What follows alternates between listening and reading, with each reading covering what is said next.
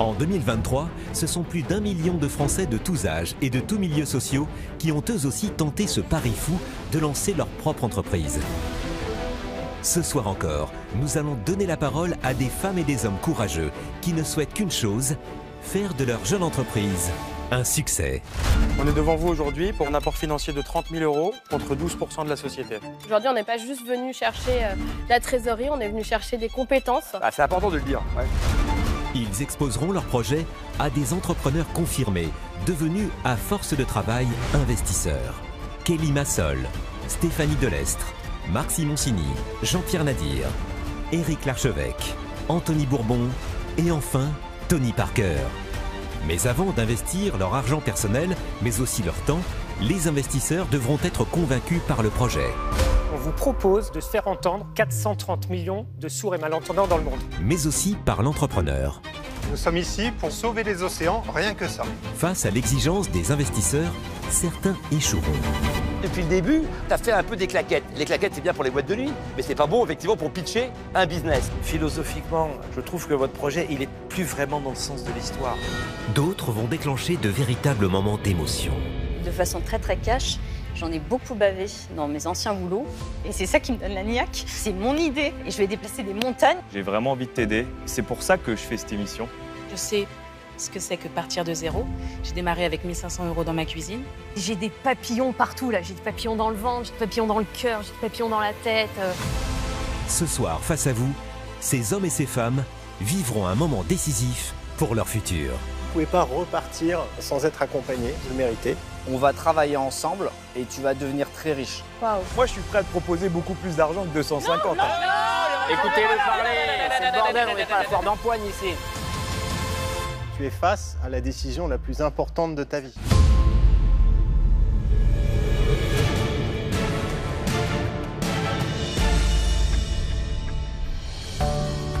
Pour démarrer le dernier épisode de la saison, accueillons un entrepreneur qui s'est lancé dans un projet qui coulait de source pour lui. Je m'appelle Ovadia Schwartz, j'ai 44 ans, je viens de Nice, je suis papa de deux enfants. L'entrepreneuriat pour moi, c'est une passion.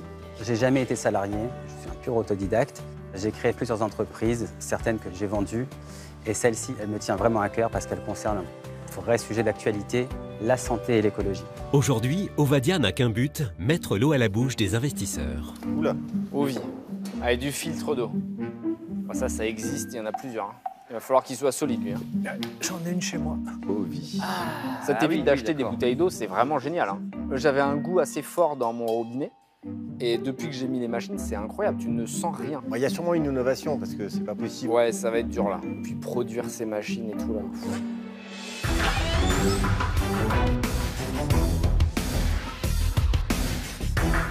Bonjour. Bonjour. Bonjour. L'eau, c'est la vie. Nous sommes nous-mêmes constitués de plus de 60% d'eau. Mais chaque bouteille consommée est une cicatrice sur notre planète. Je m'appelle Ovadia Schwartz et je suis ici avec la solution. Mais pour cela, j'ai besoin de vous. Je cherche 250 000 euros pour propulser cette innovation en contrepartie de 15% de notre entreprise.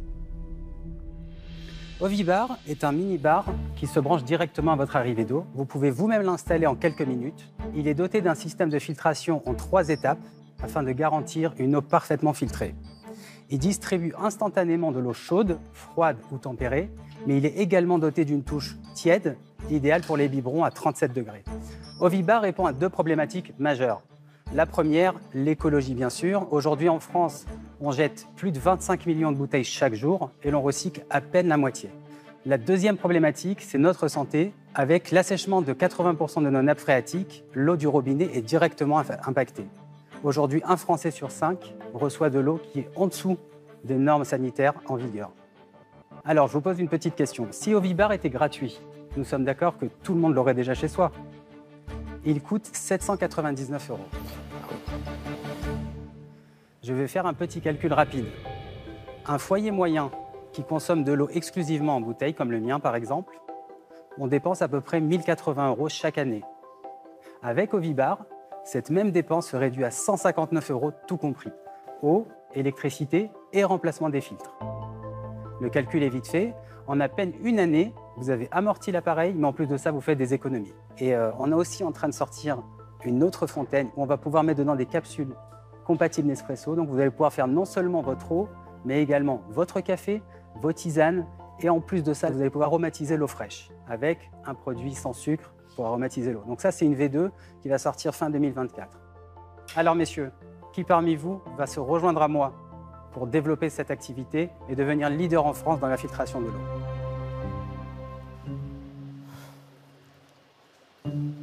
Donc c'est une fontaine à eau. C'est une fontaine à eau. C'est pas gazeux, hein? Non. Donc l'innovation, c'est que ça fait de l'eau tiède et chaude. Pas que. Et le filtrage peut-être, parce que vous avez dit filtrage parfait. Donc ça c'est très rare d'affirmer C'est une chose pareille. C'est vrai. Alors je vais vous décrire la filtration. Ok. Vous avez deux filtres à l'intérieur. Vous avez un premier filtre, il s'appelle le filtre X. Donc il est euh, en charbon actif et en polypropylène. Donc c'est pour filtrer les, les particules euh, épaisses, donc euh, chlore, calcaire, etc. Ensuite il passe dans le deuxième filtre, donc c'est de la membrane ultrafiltrante à 0,01 micron. Et en dernier, une des particularités d'Ovibar, c'est qu'il y a deux réservoirs à l'intérieur, un réservoir d'eau chaude et un réservoir d'eau froide.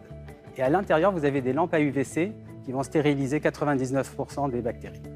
Alors, il existe ce genre de système sur le marché, mais aujourd'hui, les compagnies s'adressent surtout aux professionnels. On connaît tous les fontaines à eau dans les entreprises, souvent avec un filtre à charbon uniquement et avec une maintenance très élevée. Ovibar, c'est quelque chose qui est facile d'accès à tout le monde. Vous pouvez vous-même l'installer. Vous n'avez pas de contrat de maintenance. Il coûte relativement peu cher par rapport à son rapport qualité-prix. Et il a ce système de filtration qui, effectivement, peut concerner des installations très coûteuses où on va combiner tous ces systèmes de filtration réunis. Quand tu lances le projet, tu as conscience qu'il y a déjà plusieurs concurrents sur le marché, mais tu dis je vais faire un meilleur produit, Exactement. plus pointu, plus technique. C'est exactement ça. Et si je peux rajouter, aujourd'hui en France, c'est un marché qui est totalement naissant. Vous allez chez Darty, il y a une machine par exemple, mais il faut la remplir. Donc c'est comme une carafe Brita électronique. Là, vous allez enlever votre bouilloire. Ça, c'est clair. Ça, avec Voilà. ça, ça va être bien. Donc on préfère Là, s'axer le- l'eau tiède, l'eau chaude, je sais pas ce que ça représente comme Je vais marché. vous faire goûter. Je vais vous faire goûter. Bah, goûtons. Bah, moi, je, je suis un connaisseur de l'eau. Moi aussi. Je bois 3 Ok. litres par jour. Et j'urine 5 fois par jour minimum. Oh, bah, merci euh, de ce détail. Donc là, vous avez l'eau chaude, l'eau froide et l'eau tempérée. Donc le froid, il suffit d'appuyer. En tout cas, le design est sympa. Voilà. Vous pouvez choisir la contenance. Donc de 140 à 500 ml pour une gourde, par exemple. Merci. Ah, moi, je veux bien un verre d'eau tiède. Tiède, C'est frais déjà. Ah oui, c'est bien frais. C'est pourquoi? Parce que l'eau tiède, quand quand il y a un mauvais goût, tu le sens tout de suite. C'est de Bon, l'eau, hein, enfin, c'est hein. très bien. Alors l'eau chaude, il y a une sécurité enfant et qu'on peut désactiver. Et là, hop, vous avez une lumière rouge qui s'allume. Là, c'est bouillant. Vous pouvez choisir de 90 à 100 degrés. Donc en fait, vous avez réinventé l'eau chaude, quoi. Ah, en fait, On, on a dû vous la faire 50 fois. non, ça va pas. Non? Merde. Ah, Elle n'a aucun goût, franchement, parce que Ouais, quand ouais. on la boîte chaude, on le sent tout de suite le goût. Exactement. Avec les odeurs Il n'y a de- pas de calcaire non plus. Il n'y a pas ces petits dépôts. C'est tellement chaud que ça a fondu la paille. bon, en tout cas, ça marche. Bon, ça marche. C'est silencieux. Ça va 40 décibels. Vous en avez vendu, euh, j'imagine, vu, vu la valo, on peut avoir deux, trois chiffres. Bien sûr. Alors, notre lancement, il a été il y a 4 mois. Ah. On a débuté avec euh, un roadshow chez Costco. Costco, juste pour préciser, Costco, c'est une chaîne de distribution euh, qui permet de faire de beaux volumes, qui vient d'arriver. Costco, d'ailleurs, nous a référencé directement chez eux, tellement ils y croient au produit. Et on a vendu 120 machines, donc l'ensemble de notre première production, euh, en 4 mois. Donc, on a fait actuellement à peu près 110 000 euros de chiffre d'affaires. Là, actuellement, vous avez du stock, vous avez commandé un nouveau batch. Oui. Quelle est la situation? Alors là, on a relancé un- une production de 120 machines parce qu'en fait, pendant le roadshow de Costco, on a pénétré des réseaux qui sont très très importants. Donc on a des promesses de commandes énormes. Par exemple, on est avec le siège du Crédit Agricole, donc on va équiper quelques agences. On est avec Optical Center, où on a déjà équipé 14 agences sur 700 en France et sur 5000 dans le monde. Donc on a des promesses très très importantes. Pourquoi vous en faites que 120 alors? C'est une question de moyens. Aujourd'hui, on fait avec les moyens du bord. Et après, en récurrent, vous avez quoi? Alors effectivement, donc le, le business il est surtout basé sur le récurrent, c'est-à-dire qu'on installe un parc client et derrière vous avez le remplacement de filtres tous les six mois. Sur la machine on fait une- une- un petit x2 et sur les filtres un x4. Et quel est le prix euh, des filtres? Alors 59 euros si vous achetez un jeu de filtre pour six mois et 99 euros pour un an. On propose également un pack sérénité. C'est un pack où vous avez effectivement un petit abonnement. Ça vous garantit non seulement l'envoi des filtres automatiquement, mais également euh, on vous teste votre eau une fois par an pour nous garantir que tout est OK. Et en plus de ça, C'est un peu à la Apple Care. On va vous remplacer votre appareil si vous avez une panne. combien de clients à peu près Parce que je 120. vois sur votre in- Insta, ouais, vous venez juste de commencer. oui, quoi. on vient de commencer. On n'a pas encore investi massivement dans la communication. Vous vendez combien par jour ou combien par mois à peu près en ce moment avec ce que vous avez fait comme marketing? On est aux alentours d'une vingtaine par mois. Un par jour, quoi, en gros. Oui.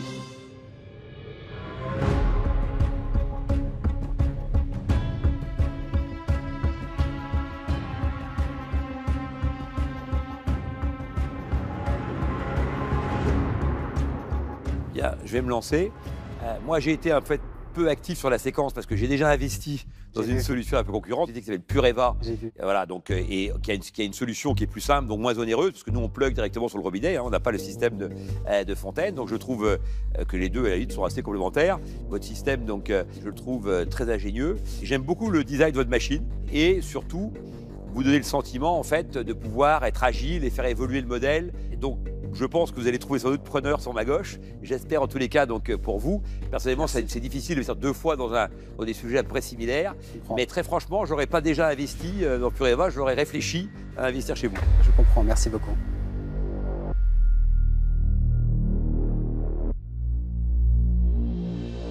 Je trouve dommage que vous n'ayez pas été un peu plus souriant au début. Parce que plus ça a été, plus vous étiez à l'aise et plus vous aviez l'air sympa. Et en fait, quand je me suis rapproché, je me dis, ah, il est sympa au final. Je suis désolé, mais j'ai vraiment le trac parce que c'est la première fois. C'est pas dramatique, mais c'est plus pour vous pour la prochaine fois. En fait, ces moments, il faut réussir à les kiffer. Et là, vous avez été dans la souffrance, dans le pitch. Et c'est dommage parce que franchement, le produit, il est top. L'esthétique est très sympa. Et surtout, vous êtes un bon entrepreneur parce que vous avez réussi à créer une machine qui paraît quand même complexe, à proposer des services d'eau chaude, d'eau froide qui sont euh, assez innovants. Le sujet est évident, tout le monde devrait en avoir. Je comprends pas que des gens galèrent encore à transporter des packs d'eau euh, de 8 kilos à la main. Enfin, ça paraît absurde. Donc, vous avez un marché qui s'ouvre devant vous. Mais humainement, vous m'avez pas embarqué. Pour ces raisons, de mon côté, je vais passer. Non, mais c'est un vrai sujet. Je- Moi, je fais partie des, des gens qui consomment beaucoup d'eau et même que de l'eau. Avant, j'utilisais beaucoup de, de bouteilles en plastique.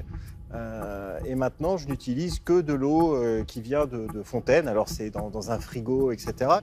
Et moi, j'aime bien avoir de l'eau fraîche. Donc, plutôt que d'avoir tout le temps une bouteille au frigo, etc., ça, c'est vraiment super. C'est vrai qu'il n'y a pas beaucoup de solutions. On peut trouver des trucs à droite, à gauche, euh, qui font l'un ou l'autre. Mais euh, un système tout en un avec une vraie filtration, avec euh, les UV, ça c'est important aussi hein, pour tuer tous les micro-organismes, les, bactéries. Et vous avez aussi une perspective de développement quand même intéressante avec l'intégration des capsules café, de, faire une sorte de tout en un pour résoudre la problématique du bah, à un moment j'ai plus de place sur ma cuisine. Aujourd'hui, bon, les ventes sont un peu poussives hein, parce que 20 commandes par mois, c'est, euh, on voit vraiment que vous êtes au début, hein, au- au début de la commercialisation. Euh, donc il y a quand même pas mal de travail, il y a encore beaucoup de risques. Et il y a un peu un, un pari sur votre capacité de vraiment réussir cette deuxième machine. Donc, je suis intéressé. Je vais vous proposer 250 000 euros, donc la somme que vous demandez. Mais j'aimerais 25% et pas 15%.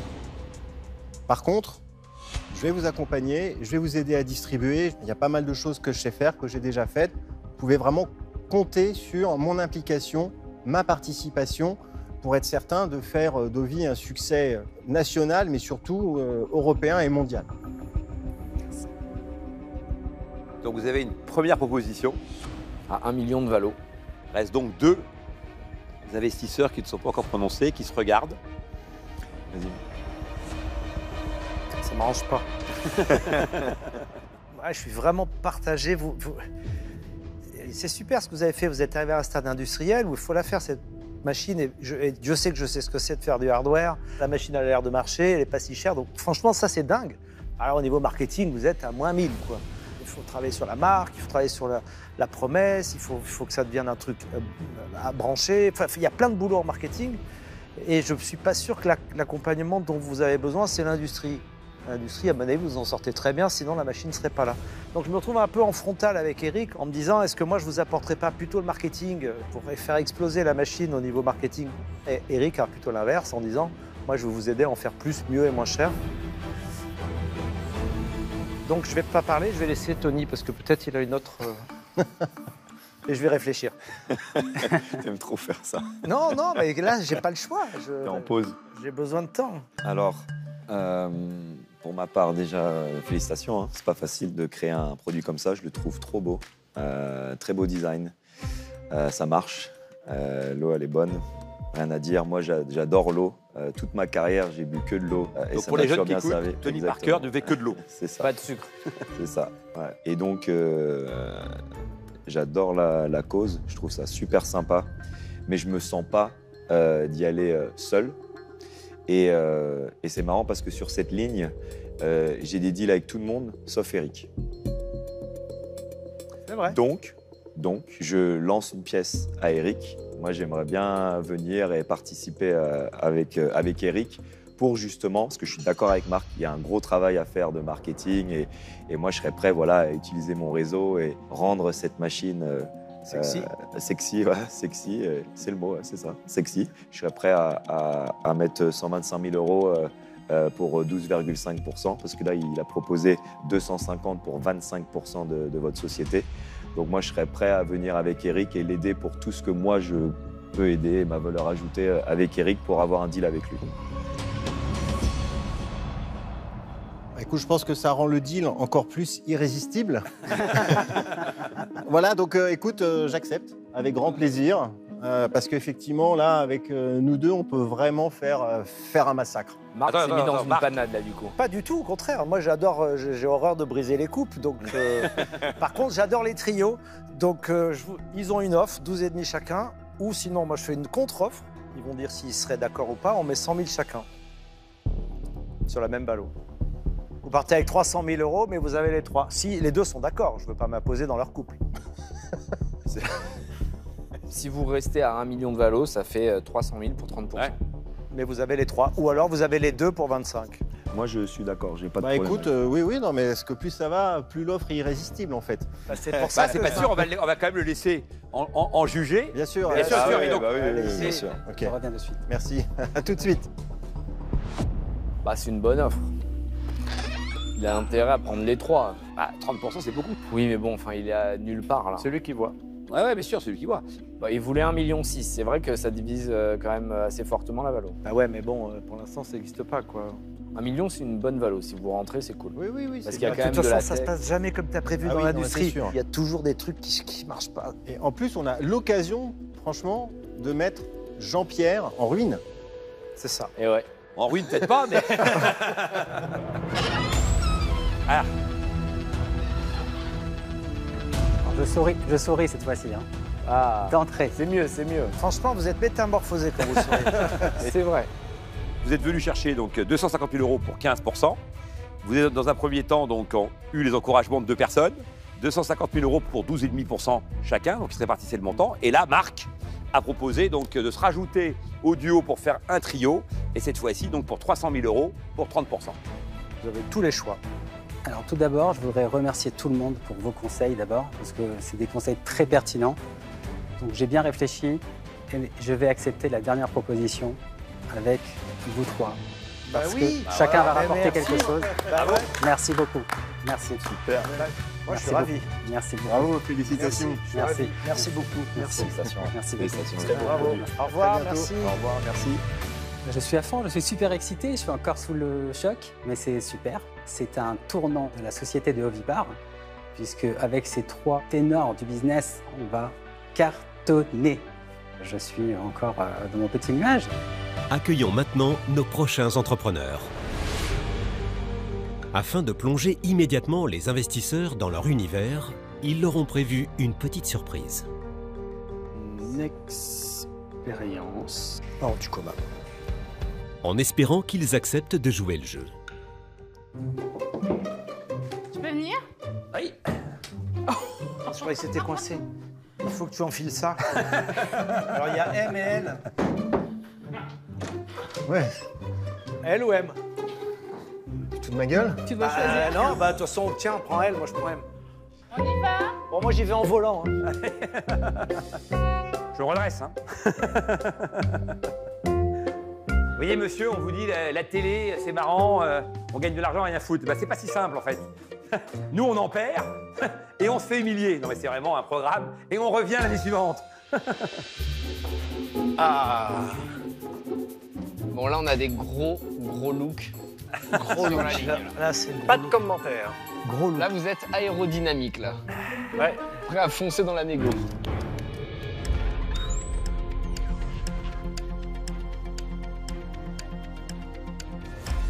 Bah bonjour à tous. Et euh, d'abord un grand merci à vous d'avoir eu le courage d'enfiler les combinaisons qu'on vous a fait livrer en coulisses. Bah, de rien. Et, et ça sans même savoir à quelle expérience inédite vous alliez participer aujourd'hui. Oui. Faisons tomber le suspense, on va parler d'EMS, d'électrostimulation fitness. Moi je suis Vadim Gouti, je suis entrepreneur depuis 15 ans et je suis spécialisé dans la vente directe et dans le développement de réseaux. Moi, je suis François. Euh, j'ai toujours été un passionné de sport dans la vie et c'est moi qui ai rendu mes associés accros à l'électrostimulation en 2016. Et j'ai été séduit tout de suite. J'ai dit ça, c'est un truc, il faut, faut aller dedans. Je me suis associé avec lui. On a monté un centre, un deuxième. Puis après, on s'est dit, on va parler de ce système. Et c'est là qu'on a rencontré Seb, qui a voulu se lancer avec nous. Aujourd'hui, nous sommes venus vous proposer de devenir actionnaire de Fulgurance à hauteur de 5% du capital et pour seulement 150 000 euros. Un Français sur deux ne pratique pas de sport par manque de temps. Et c'est précisément pour cette raison que nous sommes lancés dans l'EMS. Pour chacun de nous, il aura suffi d'une seule séance pour être convaincu et devenir accro à l'électro. Le chemin a été long, parsemé d'embûches, mais après 4 ans de travail, nous sommes fiers aujourd'hui de vous présenter la technologie Fulgurance. Fini les câbles, fini les gilets encombrants, humides. Elle se démarque de tout ce qu'on trouve aujourd'hui sur le marché. Elle est composée d'un générateur autonome, ultra compact, puissant, d'une combinaison conçue en High Lycra Muscle Compression, à laquelle nous avons intégré une multitude de nanoélectrodes de dernière génération, rendant notre combinaison ultra légère, ultra résistante et d'une application adaptée à tout type d'entraînement. Il y a trois mois, nous avons lancé la commercialisation. Donc nous avons déjà vendu 130 combinaisons. Sachez que tous nos utilisateurs sont unanimes. L'expérience Fulgurance est sans équivalence. Mais le mieux, pour vous en convaincre, c'est de vous la faire vivre maintenant. Ah oui. Are you ready? On arrive. Vous allez y passer. Exactement. Passer à l'acte. J'ai pas compris cette histoire de générateur. Je pense qu'on va vite comprendre. Je suis impatient. Donc là, on a deux boîtiers, donc on a deux personnes qui vont tester l'électro. Ah, je vois qu'il y a une Ah. personne qui s'écarte un petit peu. Vas-y, allez tous les deux là. Ah, allez. Eric, euh, bien joué, hein, le... l'esquive. hein. Ah ouais, l'esquive, elle était. Je mets le boîtier juste ici. Moi, j'en ai déjà fait. Et donc, effectivement, il y avait un gilet. On était cornaqués de partout. Et c'était, en fait, ça limitait tes mouvements. Donc, vous, vous avez en fait résolu un peu ce problème-là, c'est ça? C'est exactement ça. Donc on va faire une séance, ce qu'on va faire, on va trottiner juste tranquillement sur place. Donc vous allez sentir un léger fourmillement, une contraction. D'accord? Dès que la contraction vous, vous suffit, vous me dites stop. C'est parti, vous me dites stop pour les jambes. Ouais, ça chatouille, ça chatouille un petit peu. Ouais, ouais. aussi. Un petit peu sur les cuisses. C'est pas super agréable. Non. Ah bah non, c'est pas fait pour. Hein. Vous me dites stop pour les fessiers. Putain, le cul là, tu le sens Vous me dites stop pour les abdos. Il faut être sûr que ça marche, monte le fort. Eh bien, stop, stop, stop, les abdos là Stop et que la vie me pardonne. Ah, les bras, c'est vrai que ça, ça attaque là. Mais c'est ta femme qui doit pas en croire ses yeux, Jean-Pierre. On va prendre les haltères qui sont juste derrière vous. Vous allez nous faire une heure comme ça? Il reste 28 minutes sur le programme. Oui, en fait, c'est, c'est- Nickel. C'est pas un test produit, c'est une séance. Ok, on va partir sur une série de gainages. On serre les abdos, les coudes bien sous les épaules. Non, mais le gainage, c'est un truc pour les charlots, ça. Si vous voyez que ça tire au niveau du dos, on pose les genoux au sol. 4 secondes encore sur celui-ci. Non, mais là, moi, je tiens à une heure. 3, 2, 1. Relâchez. Parfait. Bon, vous avez la version adulte maintenant? Donc là, on est parti. Même principe, on va trottiner tranquillement. Oh Souffrir, le pauvre. Oh putain Oh, ah L'équilibre au niveau du dos. Hop, et là on va. Là, tac. Et là on va partir juste au niveau des bras. Donc là on peut s'arrêter de trottiner. Là, il saute dans tous les sens. On va contracter, voilà, au niveau des biceps. Prends les haltères, feignasse. On est bien comme ça, je vais rester à 20%. hein. Ah, je suis à 20% On a là. 20% au niveau des bras. Ah non, plus haut, euh, au moins 30. On va faire juste ce mouvement. Tac, là. 3, 2, 1. Et on relâche. Parfait. Ouais, quand ça s'arrête. Bravo à vous. Ça, c'était un vrai test. Hein. Et donc, juste qu'on comprenne bien le bénéfice du client, qu'est-ce qu'on lui promet par rapport à une séance classique sans toute la technologie? On dit toujours 20 minutes égale 4 sports de sport. C'est en fait quand on va travailler en électrostimulation, on va travailler sur 20 groupes musculaires. Quand on va en salle de sport classique ou qu'on travaille chez soi, on ne travaille jamais 20 groupes musculaires. On va cibler un, deux groupes musculaires maximum. Ce qui est bien aussi avec l'électrostimulation, c'est qu'il y a des aspects au niveau de la peau. Il y a un effet tenseur au niveau de la cellulite. Alors ça peut paraître fou, on dit on vend du rêve, c'est vraiment concret. On le voit avec nos clients. Alors je ne comprends pas la différence entre les gilets qui existaient et ça. Alors c'est juste les câbles, la, la- la tringlerie, mais c'est le même principe, c'est le même... euh, L'électrostimulation elle-même, ça existe déjà, ce concept. Donc moi, je prends l'exemple de ma salle, en fait. On a eu beaucoup de, de problèmes, c'est-à-dire au niveau des câblages, les électrodes qui lâchaient, les câbles qui lâchaient. En termes d'hygiène, non plus, c'était pas vraiment, c'était pas vraiment top. On a voulu gommer tout ça pour créer un produit qui soit robuste, efficace. Et en termes d'hygiène, c'est beaucoup mieux. Ben, en termes d'hygiène, c'est-à-dire que dans le club, si je passe après lui, euh, vous allez laver la combi? Exactement. La combi est lavée après chaque utilisation. Ah, c'est ça. C'est-à-dire Donc qu'après chaque- j'en ai un roulement. C'est ça. Et notre combi, elle peut se laver directement à la machine par un particulier. Combien tu payes euh, la combi? Pour l'instant, on est sur un prix de vente, nous, à 320 euros hors taxe. Pour les professionnels. Je dis, je dis pour l'instant parce qu'on est encore, nous, en démarrage de commercialisation. Mais le coach, il gagne de l'argent sur le coaching. Est-ce qu'il en gagne sur la combi en plus? Ah non, non, le coach, il va gagner sur le temps, parce qu'il va faire des séances peut-être plus courtes, et il va gagner aussi sur le tarif qu'il va proposer, puisqu'il amène une vraie valeur ajoutée avec le coaching, avec l'électrostimulation. Il arrive à vendre plus de séances, il vend la séance beaucoup plus cher. En combien de temps il amortit En donc euh, général, sans électrostimulation, ça va être environ une heure pour un tarif entre 30 et 50 euros. Avec l'électrostimulation, c'est des séances de 20 minutes plus les 10 minutes, donc d'une demi-heure, sur un tarif de 50 à 80 euros. Il double, quoi. Enfin, Il peut faire plus de séances et gagner plus d'argent. Et, et il se démarque aussi parce qu'aujourd'hui, euh, concrètement, il y a de plus en plus de coachs qui pratiquent le coaching à domicile et qui cherchent des niches pour se démarquer de toute la concurrence qu'il y a. C'est facile à transporter, quoi. C'est ça, c'est la différence. C'est très facile à en transporter, contrairement à d'autres technologies qu'on a eues. Parce que dans nos premiers clients, on a des gens qui utilisaient d'autres technologies qui nous ont dit non mais là, là c'est magique, je me balade avec mon petit sac. Bon alors attendez, moi je suis coach. Pour avoir un client, donc tout l'ensemble avec une combi, le matériel, etc., ça me coûte combien? Un pack avec un générateur et 10 combinaisons, on est à 9000 euros hors taxe. Vous gagnez combien sur les euh, 9000 euros? On est entre, euh, entre 50 et 60% de marge brute. Et jusqu'à présent, vous avez investi combien pour, pour développer tout le projet? 500 000 euros. Ah, quand même Ok. Vous avez donné votre chiffre d'affaires? On a fait 150 000 euros en trois, en trois mois en termes de prévision. Et je pense être assez juste dans les prévisions qu'on fait. On va faire 2 millions euh, sur le prochain exercice parce qu'on aura déjà une petite armée de gens équipés. C'est une stratégie. Chaque coach, pour nous, peut devenir quelqu'un qui, commercialement, peut aussi vendre notre matériel. En fait, l'idée, c'est de fédérer notre réseau de coachs comme des partenaires d'affaires pour propulser la marque. On est dans un marché vraiment porteur qui va se développer encore pendant, pendant les prochaines années. Et euh, je pense qu'on a une équipe solide, pleine de compétences et pleine de ressources. On a tout l'avenir devant nous. On a un produit qu'on peut faire tester à des personnes qui ont testé toutes les autres technologies. À chaque fois, on fait l'unanimité. Ok.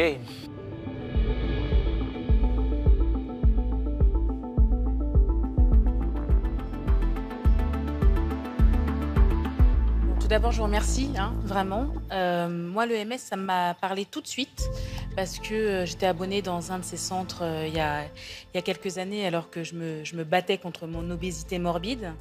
Et moi, j'ai tout de suite vu le point positif, c'est que lorsque tu as beaucoup de poids, c'est compliqué de faire du sport sans se blesser. Donc la technologie en soi, le bienfait de, de ce genre de séance, le gain de temps en tant que femme entrepreneuse, 20 minutes à la place de 3 heures, le concept, je, je trouve qu'il est excellent. On sent que vous êtes passionné, on sent que vous croyez dans le projet. Mais sur le modèle en soi, je pense qu'il y a eu une vague et que cette vague-là, elle est passée et que avant qu'elle revienne, il va lui falloir du temps. Par contre, moi, autre que vous apporter des éventuels fonds, euh, je- enfin, moi, je ne pourrais rien vous apporter de plus et c'est pour ça que je ne vais pas y aller. Pas de souci, merci. Alors, c'est vrai que j'en ai fait, c'est super, mais il faut faire beaucoup de séances. Donc, il va falloir que je le fasse souvent. Et si je le fais souvent, je vais avoir envie de le faire chez moi. Je ne vais pas aller me taper un prof pour faire cinq séances d'électrostimulation par mois. Donc, moi, je pense que votre marché, il est plus chez les particuliers qui vont se payer un appareil. Parce que les particuliers, pour le coup, ils peuvent mettre ça, euh, faire une devant la télé, euh, pendant que je vais faire le ménage, ils s'arrêtent, ils recommencent. Enfin, je connais plein de copains qui achèteraient ça. Et, et peut-être que ça sera un marché infiniment plus gros que les coachs. Même s'il faut continuer probablement à faire les coachs. Donc moi, j'aborderai le sujet surtout en B2C, plus qu'en B2B. Alors moi, en l'occurrence, j'y connais rien en B2B et ça me casse les pieds. Euh, donc si votre truc était du B2C, j'aurais pu réfléchir avec vous, mais c'est du B2B, donc je ne vais pas pouvoir vous, accompagner. Même si je- j'en achèterai une tout de suite. hein. Moi, je pense que ce marché du coach, c'est un très bon marché parce que d'abord, je ne sais pas combien de coachs il y a en France, mais c'est un marché qui a explosé littéralement. Donc, il n'y a plus un parc dans une ville, donc euh, on ne voit pas 15 coachs donc, euh, en rhodognon qui donnent, qui donnent des cours. Les cours à domicile, c'est aussi un marché donc, euh, qui a complètement euh, explosé. Maintenant, je suis assez d'accord avec eux aussi sur le fait que la solution, même si elle est moins lourde d'un point de vue effectivement donc technologique, elle est quand même onéreuse. Et donc, je trouve que vous devriez essayer de trouver un moyen de démocratiser maintenant l'accès à votre, produit. Donc, baisser les prix en jouant sur la quantité, dès lors qu'on aura effectivement réussi à imposer cette marque fulgurance et, et- et mê- et même à, réinventer, à réenchanter un peu le concept. On, est au début un peu de l'aventure et je trouve qu'on se voit un peu, trop tôt. Voilà, c'est prématuré, en tout cas c'est comme ça que je le, je le vis, même si je suis sûr que vous avez une voie et que vous allez peut-être, sans doute, j'espère pour vous, euh, y arriver.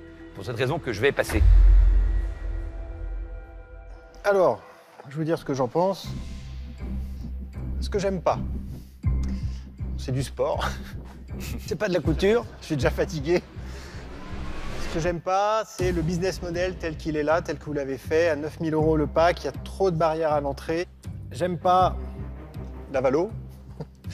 Euh, ce que j'aime bien, vous avez réussi à développer des choses euh, enfin, par vous-même, vous avez investi, donc euh, vous avez fait quand même du beau boulot. Euh, Il y a un beau résultat, hein, il y a de la qualité, ça marche. euh, C'est pas facile hein, de faire du, euh, du hardware en France. Donc il y a quand même une démonstration de preuve qui est là et qui est, qui est pas mal. Cependant, si je dois réfléchir au temps que je vais passer et l'implication et de me dire est-ce que c'est ça ce que j'ai envie de faire? En fait, la réponse, c'est non. Je ne suis pas assez séduit personnellement par l'univers, d'accord? Je pense que c'est un deal qui peut être gagnant. Il y a sûrement plein de choses à faire, mais malheureusement, ce ne sera pas avec moi parce que ce n'est pas le truc que je porterai et que je sens dans mes tripes. Donc c'est pour cette raison-là que je ne vais pas vous accompagner. Ok.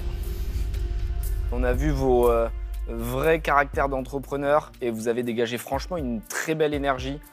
Le hardware, c'est compliqué. C'est un métier qui est dur à exécuter en France. Eric euh, en sait quelque chose. 10 000 euros, j'y crois pas non plus. Euh, Les coachs, c'est quand même pas des gens qui roulent sur l'or. Est-ce qu'ils peuvent faire cette avance d'argent? Euh, Ça me semble compliqué. Est-ce qu'on résout un problème fondamental? Non, tu peux quand même faire du sport sans, même si je suis d'accord, c'est mieux. Est-ce que les gens vont être prêts à payer plus? J'ai un gros doute. Il y a un risque de mode également qui a été souligné. 3 millions de valos, ça me semble euh, exagéré. Pour ces raisons, je ne vais pas y aller. Mais vraiment, si on peut vous aider, vous soutenir, euh, vous pouvez compter sur nous. Merci à vous. Merci à vous. Merci déjà. beaucoup. Merci à vous. Merci, à à vous. vous. Bon courage. Lâchez pas, lâchez pas.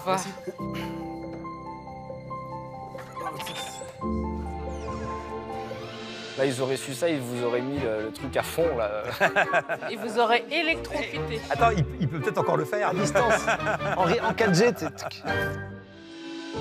Déçu Déçu, clair. Ouais, un petit peu déçu Forcément.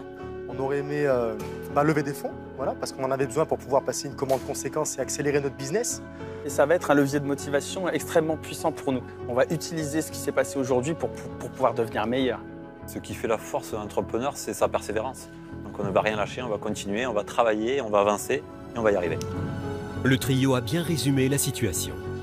Avec les conseils des investisseurs, la balle est maintenant dans leur camp pour faire de leur entreprise un véritable succès. C'est maintenant au tour de Marine d'arriver à l'atelier. Pour l'instant, cette entrepreneuse fébrile marche sur des œufs. Bonjour. Bonjour. Bienvenue à l'atelier. Merci. Espérons pour elle qu'elle gagne en assurance et que, cerise sur le gâteau, elle obtienne le deal dont elle rêve auprès des investisseurs. Je me sens stressée et excitée de pouvoir présenter mon innovation. Ça fait cinq ans que je pose dessus, donc euh, pour moi, c'est vraiment une étape de fou d'être là.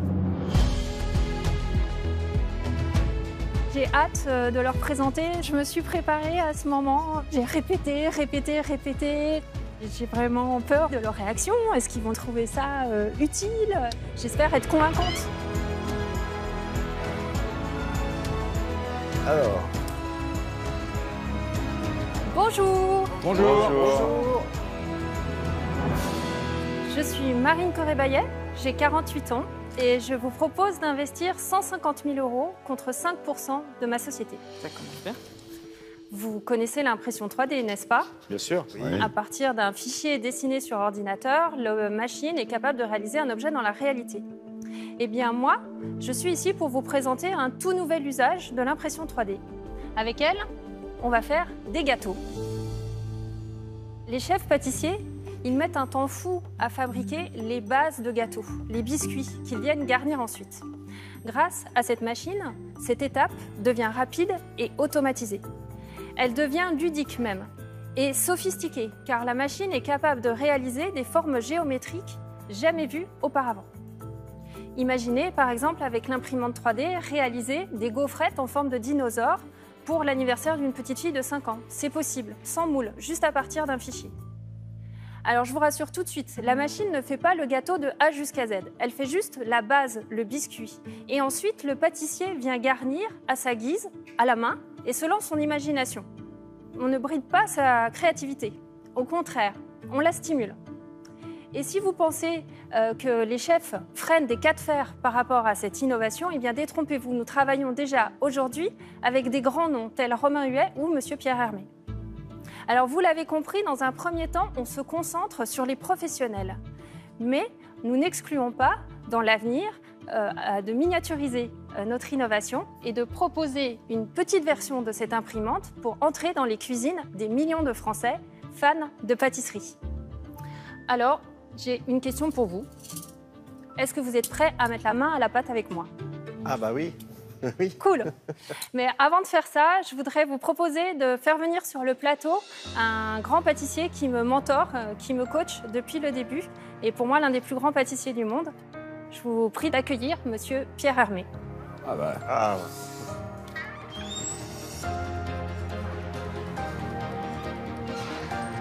Bonjour. Bonjour, chef. Bonjour. Bonjour monsieur. Alors, Pierre Hermé, pâtissier, fondateur de la maison euh, Pierre Hermé Paris. Pour parler de la maison, notre euh, mantra a toujours été la culture de la différenciation et bien sûr la création. Donc, quand euh, j'ai vu euh, l'innovation de Marine, je me suis dit, ouais, il y a quelque chose. Il y a quelque chose qui va nous permettre de faire des créations sur mesure, qui va nous permettre de simplifier certaines tâches, de ne pas gaspiller de matières premières. Elle va nous ouvrir des possibilités que l'on n'avait pas. Réaliser les lettres comme elles sont là, c'était très compliqué à faire. Donc euh, ça va nous simplifier la tâche et on va pouvoir se concentrer sur ce qui est important lorsqu'on fait de la pâtisserie ou de la boulangerie, c'est le goût.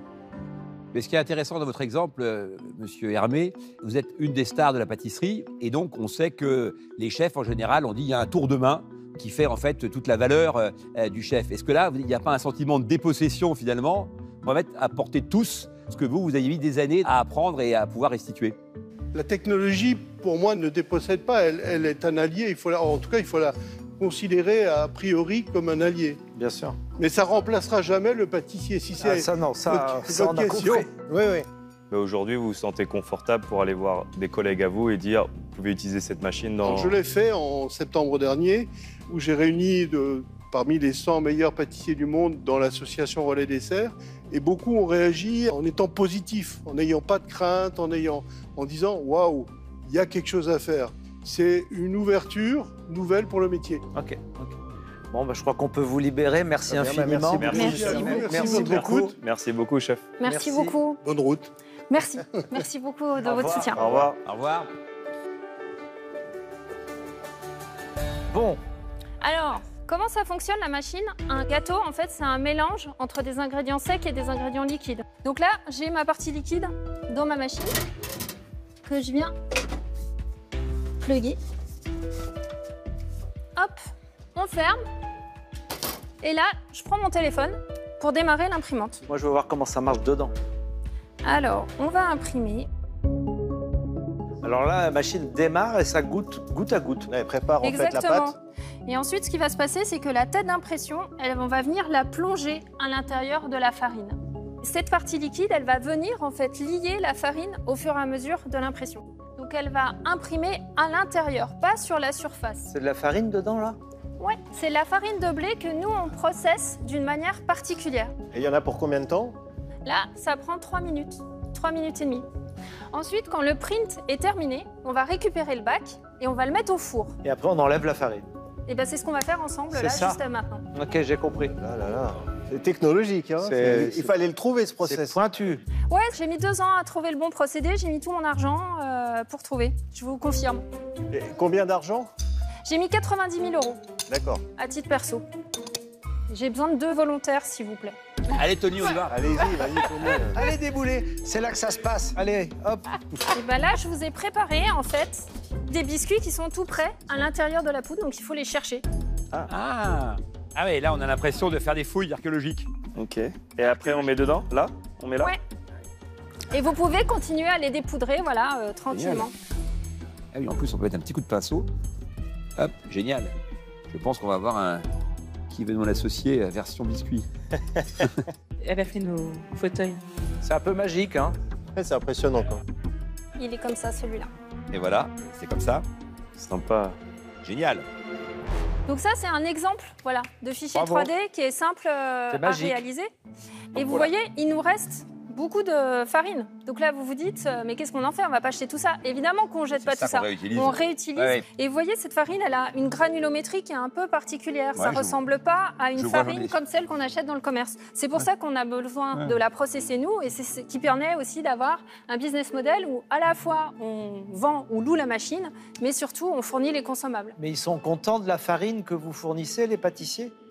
Bah En oui. termes gustatifs? Vous allez goûter. Vous allez goûter, vous pouvez goûter vos biscuits. Et puis surtout, moi, je vous ai préparé aussi un dessert que vous pouvez déguster. Merci beaucoup d'avoir joué le commis. Merci. Ça fait longtemps que j'ai pas mangé un fauteuil, moi. Est-ce que tu reconnais ton fauteuil? Je crois. C'est Oui. le plus beau. C'est le plus beau, c'est le plus beau, Kelly. Il est beau, hein? Ils sont bien faits, les sièges. Ah ouais, Ouais, c'est, super. Euh, Alors là, je vais vous proposer en fait un dessert de restauration. Parce que c'est aussi la cible qu'on vise avec cette innovation, c'est de pouvoir proposer des desserts à l'assiette qui soient innovants. Ah, Je vous propose en fait de déguster un dessert autour de la pomme parce qu'on est normand. Autour de on la est pomme. euh, Ah. basé à Louviers. alors on va goûter. Donc on verse hein, la sauce, c'est ça? Ouais, c'est ça. Qu'est-ce que c'est joli C'est une architecture euh, comestible. C'est ça qui est chouette, ouais. On hésite à le casser, quoi. Bon, c'est la- c'est la seule- le seul problème, tellement c'est beau. Donc plusieurs applications possibles, comme vous le voyez, faire effectivement du sur-mesure pour un événement, comme vous parlez, Monsieur Hermé, faire une forme spectaculaire pour un dessert à l'assiette, faire des contenants comestibles. Le biscuit est très bon. Ouais, c'est très bon. Tout à l'heure, j'ai entendu que vous parliez de location. Donc, quel est votre. Modèle. Comment vous êtes votre modèle Le économique business model, ouais. Euh, la machine, on la vend 20 000 euros, où on propose via une société de leasing de la louer pour 500 euros par mois. Pour nous, c'est important de pouvoir toucher le cash immédiatement et puis on n'est pas organisme bancaire. Quoi. Ouais. Voilà, donc ça c'est euh, la première partie euh, des revenus. La deuxième partie, c'est la vente de la farine, des consommables. Donc ça, on vend la farine 5 euros du kilo. Ça, ça nous permet de faire un revenu de 500 euros par mois sur les consommables. 500 euros par mois par consommable par machine? Oui, Ok, non mais c'est important de le préciser. par machine, ouais. Oui. Exactement. Mais la- farine, on peut faire sans cette farine-là, c'est-à-dire que moi, je peux acheter la machine et me débrouiller tout seul au niveau de la farine, ou je non, suis obligé ça ne prendre- marchera pas. Ça marchera pas, ok. Ça, c'est très bien. C'est un élément important parce que ça fait partie du business model, donc si on pouvait bypasser cette partie-là, ce serait ennuyeux. Et, euh, et alors, euh, Les marges elle vous, elle vous rapporte combien cette machine? Bien Elle vous coûte combien? Il me trouble. Alors, la marge, euh, aujourd'hui, sur le hardware, donc sur la partie machine, elle est de l'ordre de 55%. On est un peu moins de 10 000 euros. Sur la farine, aujourd'hui, on n'est qu'à 34%. Ah. Parce qu'on la produit nous-mêmes artisanalement. On n'a pas de ligne de production. Donc l'objectif de cette levée, aujourd'hui je viens devant vous pour vous demander 150 000 euros, mais ces 150 000 euros, ils font partie d'une plus grosse levée de 1,5 million qui Ah. me permet en fait de construire cette usine et cette ligne industrielle de production de farine. Et à partir du moment où je mets la ligne de production des farines, la marge sur la poudre devient de 71%. Donc là, ça devient vraiment rentable. Et en termes de BP, ça ressemblerait à quoi les prochaines années alors? L'objectif pour cette année, c'est être à 300 000 euros de chiffre d'affaires. Euh, 10 machines euh, vendues. L'an prochain, 1 million d'euros avec 60 machines placées. Euh, 2025, 5 millions d'euros. 2026, 14 millions d'euros. En fait, ça monte progressivement pendant qu'on déploie notre parc parce que euh, le consommable prend de la place dans le- la proportion du chiffre d'affaires. Et quel est le marché en fait À qui vous allez vendre? Parce que qui peut acheter ce type de machine? C'est, j'imagine, pas le pâtissier euh, du village. euh. C'est les boulangeries-pâtisseries de plus d'un million d'euros de chiffre d'affaires. Il y a 33 000 boulangeries-pâtisseries en France. Il y en a 4 500 qui font plus d'un million d'euros de chiffre d'affaires. À côté de ça, vous avez aussi les restaurants. Parce qu'il faut savoir que dans les restaurants, il y a très peu de pâtissiers dans les équipes. Bah oui. Donc notre objectif, c'est placer 400 machines.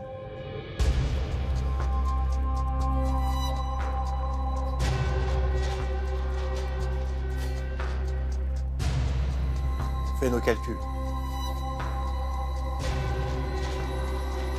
Moi, je vais, je vais me lancer. Franchement, c'est formidable ce que vous avez fait. Parce que la techno, c'est brillant. Ah, franchement, fallait y penser, bravo.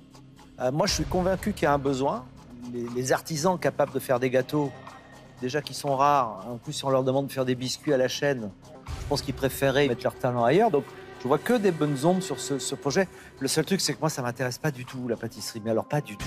Ok, Pour ces raisons-là, je suis vraiment pas le bon accompagnateur. dommage. Merci beaucoup. C'est un magnifique projet qui est porté par quelqu'un de solaire et lumineux, qui croit vraiment euh, dans ce qu'elle fait. Mais là, euh, je me dis que ce que vous recherchez, c'est pas juste des fonds. Vous cherchez aussi quelqu'un qui puisse faire la promotion de votre produit et puisse porter le- le- la voix du produit un peu plus loin et auprès de plus de personnes. Donc moi aussi, je pense pas être la, la- la bonne personne pour vous accompagner et c'est pour ces raisons-là que je vais pas vous faire de proposition aujourd'hui. Ok, très bien. Merci beaucoup. Euh, je vais enchaîner. Moi, je suis un, un gourmand. J'adore, euh, j'adore manger les desserts à l'étranger, en tout cas aux États-Unis. Moi, je suis toujours fier de parler de, de notre cuisine et, et de notre pâtisserie. On est connu pour ça dans, dans le monde entier, donc c'est cool de, de voir des, des projets comme ça. Après, je rejoins un peu euh, Kelly. Je trouve que je suis pas la bonne personne pour, pour vous accompagner dans un, dans un projet comme ça. C'est pour ces raisons-là que je vais, je vais passer. Ok, très bien. Merci. Merci beaucoup. Bon, je vais y aller parce que je vois que mon camarade euh, Eric a encore besoin de réfléchir un peu, ce qui n'est pas mon cas. Euh, je- Déjà, bravo, vous avez répondu à un problème. En fait, le problème n'existait pas. Donc, vous avez même inventé donc, euh, euh, un problème que vous avez donc ensuite euh, résolu. Moi, j'ai aucune compétence dans votre domaine, donc strictement aucune compétence. Par contre, j'ai très bien compris vos chiffres. Et j'aurais compris qu'il y avait 4000 boulangers-pâtissiers qui étaient euh, en attente d'une solution comme celle-là. Vous avez dit, après les restaurants, ça rajoute encore évidemment donc une, une deuxième cible, mais la première est déjà suffisamment euh, conséquente. Pour toutes ces raisons, j'ai envie de vous faire une offre. Ok, super. Je trouve votre valo un peu élevé compte tenu du fait qu'on est vraiment au début. Et donc, vous êtes venu ici donc, pour trouver 150 000 euros pour 5% Moi, je suis d'accord de donner 150 000 euros, mais j'aimerais avoir 10% Ok. Ok. Bon, c'est un sujet qui est, euh, qui est assez euh, intéressant. Toute innovation dans des domaines qui n'ont connu que très peu de changements euh, sont vraiment intéressantes à regarder. Ça va aller toucher une problématique importante. La plupart des chefs ne sont pas pâtissiers, ils sont obligés d'importer des choses, de décongeler. Et là, il y a un vrai marché au-delà des boulangeries-pâtisseries. Et le prix de la machine est abordable, hein, parce qu'il faut savoir que dans cet univers, les prix des systèmes sont quand même assez, assez Ouais. élevés, donc c'est pas du tout déconnant. Le modèle euh, basé sur le réachat de la farine est ce qui fait, je pense, la puissance du projet. Mhm. Là, la capacité de pouvoir avoir euh, du recurring, enfin des revenus récurrents, est, est vraiment très forte. Je pense cependant qu'il faut aller tout de suite fort à l'international. Il faut vendre des milliers de machines. Donc je pense que c'est important de pouvoir trouver des distributeurs assez rapidement qui vont pouvoir vraiment relayer euh, l'offre et vendre partout dans le monde, ce qui va justifier le fait de faire une usine. Si vous voulez vraiment faire une usine derrière, il faut que ça délivre. Et je pense que là-dessus, je peux vous accompagner. Oui. Il se trouve que l'offre euh, faite par euh, Jean-Pierre était exactement celle que je, je voulais faire.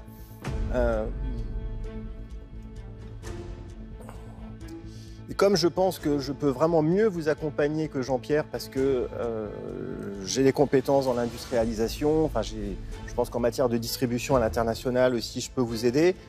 Je ne vais pas me battre sur la valo euh, pour lui piquer le deal, mais je vais faire confiance à ma capacité supérieure de vous accompagner par rapport à Jean-Pierre. Et donc, je vais vous faire la même proposition, 150 000 euros pour 10% Très bien. Ok, merci beaucoup.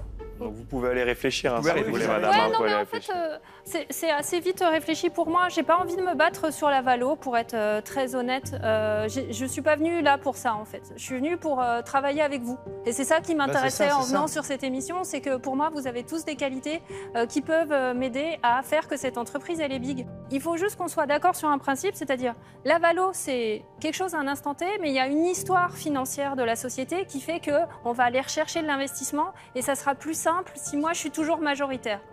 Donc, euh, vous seriez d'accord pour splitter et investir tous les deux euh, de concert?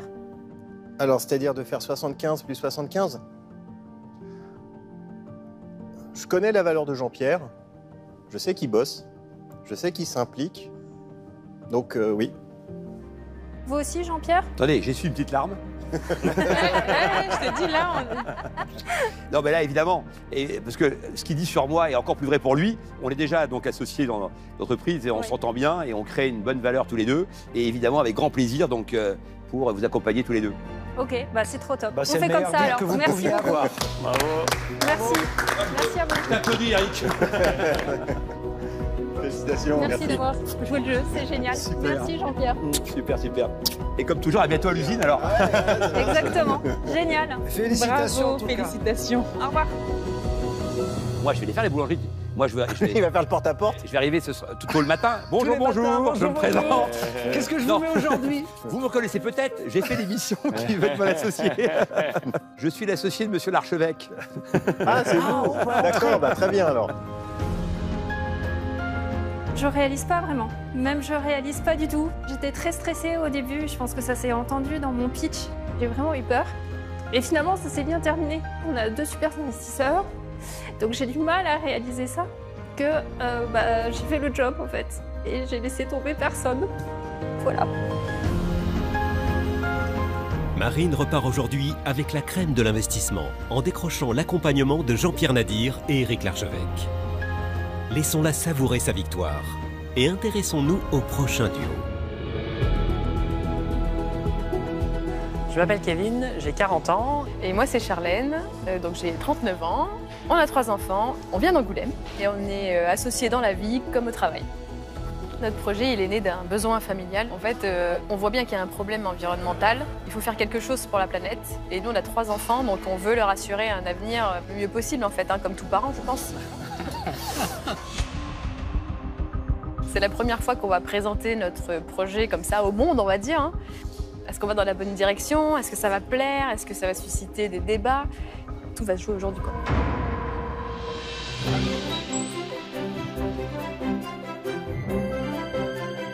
Bonjour. Bonjour. Bonjour. Bonjour. Je m'appelle Charlène et avec Kevin, on est aussi bien coéquipiers dans la vie que dans le travail. Et on vient d'Angoulême.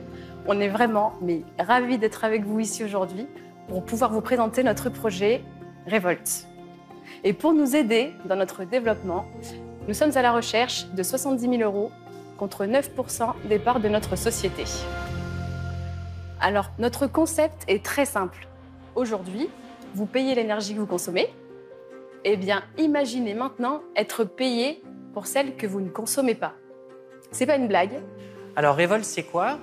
Eh bien Revolt, c'est une application euh, que vous pouvez télécharger, que nous avons voulu rendre gratuite et accessible à tous. Vous téléchargez Revolt, vous connectez votre compteur Linky, et dès que vous consommez moins que la veille, vous cagnotez. Et cette cagnotte-là peut monter jusqu'à une centaine d'euros par an pour récompenser ces économies d'énergie.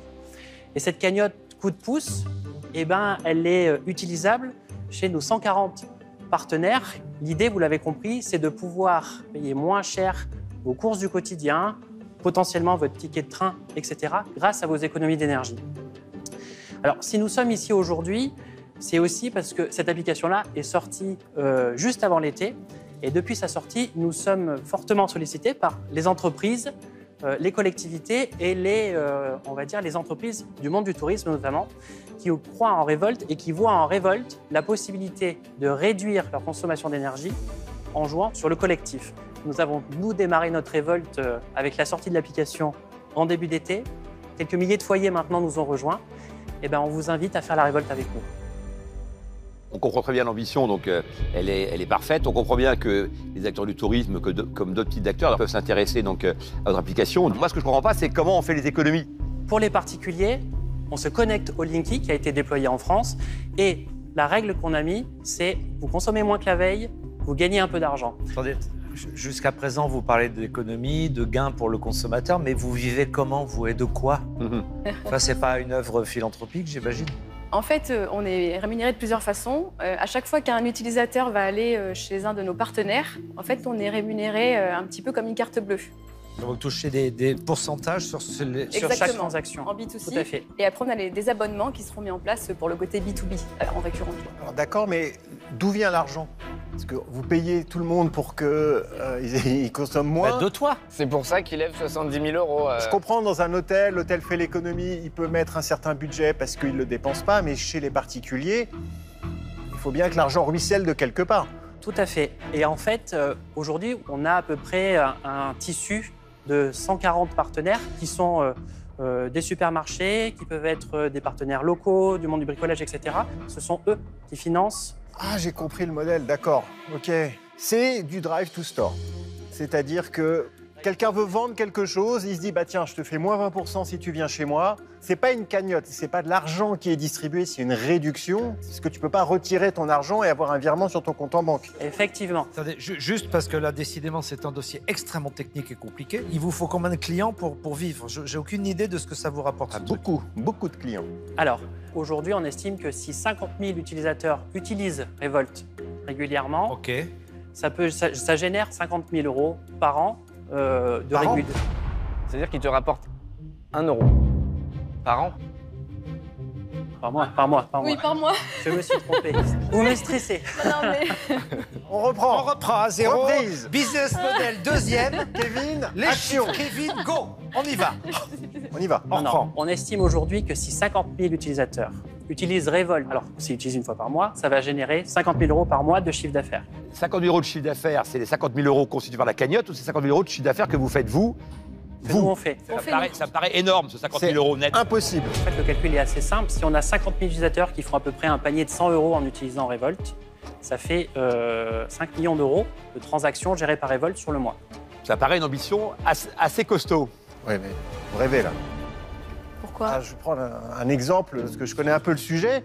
Euh, J'avais une application de comparateur de prix qui distribuait des coupons. Et donc le but, c'était de faire venir les gens dans les magasins, d'avoir des réductions. On avait un million de téléchargements, plus de 100 000 utilisateurs euh, mensuels. Je peux dire, on est très très très loin de ces chiffres. Si vous êtes capable de faire 50 000 personnes qui viennent dans les magasins ou qui font des achats avec les coupons, c'est c'est- énorme. Il vous faut en réalité 500 000 utilisateurs pour que ça fonctionne comme ça. Mais bon, c'est pas grave en fait parce que ce qui est important, c'est le B2B. Le B2C, c'est votre plateforme de marque. Donc, comment vous allez faire? Vous avez raison, il y a deux sujets. Là, on- en fait, on a, on a mélangé un peu les deux sujets. On a le sujet B2C à la maison, qui est l'application que vous voyez à là, peu près qui est celle qui est sortie, qui était notre première base. Et en fait, dans cette application-là, vous aurez la possibilité de mettre votre euh, entreprise. et les actions que vous ferez en place dans votre entreprise, elles seront rémunérées aussi. Mais combien tu fais payer l'entreprise? C'est là où on a des abonnements qui sont mis en place. Aujourd'hui, on est sur des forfaits qui vont varier entre 2 et 4 euros par utilisateur. Par entreprise. Par mois, par entreprise. En entreprise, moi j'ai un bureau, j'ai 10 salariés. Euh, Tout le monde veut mettre Revolt. Tout le monde est connecté au compteur Linky Alors pour l'entreprise, c'est pas le même modèle. En fait, l'entreprise, elle s'abonne à Revolt. Ouais. Les salariés téléchargent l'app, c'est gratuit pour eux. Ouais. Et en fait, là, ce qu'on va mesurer, c'est les actions de chacun. C'est le soir, est-ce que j'ai bien éteint mon poste de travail? Est-ce que j'ai pas laissé la clim allumée? Donc, en entreprise, c'est déclaratif. Exactement. J'ai un truc qui dit est-ce que vous avez bien éteint la lumière? Est-ce que vous avez baissé votre radiateur? Oui, non, oui, non. On se doute qu'il y aura 15% de personnes qui ne joueront pas le jeu ou qui feront semblant, mais ces personnes-là, de toute façon, n'auront jamais fait aucune action.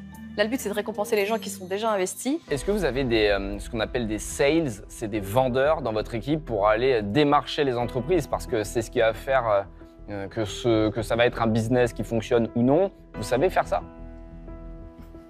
Bah, Aujourd'hui, en fait, on est deux, plus euh, trois associés euh, plutôt orientés design. Et c'est vrai qu'à terme, bien sûr, on, on voudra faire grossir vous avez l'équipe. d'abord fait un produit avant de savoir si vous pouvez le vendre. En fait, on a, on a eu beaucoup de demandes sur ce volet euh, pro dans différents secteurs. Et c'est ces demandes-là aujourd'hui qu'on a du mal à adresser parce qu'on n'est que deux. Et ouais. Parce qu'au début, on voulait s'arrêter qu'à- quelque part ce, ce volet-là pour les particuliers. On est pris entre, entre une balance de se dire on y va, on le finance, et, et- et- mais il n'y a pas encore le produit, donc pour signer des contrats, c'est difficile. Et pour autant, on a beaucoup de demandes sur ce sujet-là. Ok.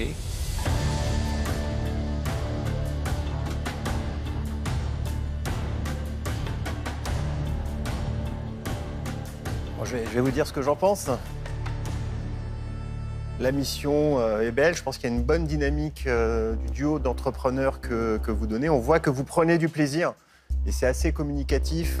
Par contre, je pense que vous êtes euh, un peu naïf sur les chiffres. Vous n'avez pas encore les preuves que ça peut fonctionner. Il y a encore une marche assez importante à franchir pour y arriver. Et donc, à ce stade, je ne suis pas suffisamment rassuré pour avoir la conviction de me dire que, OK, c'est parti, on peut y aller, on peut accélérer.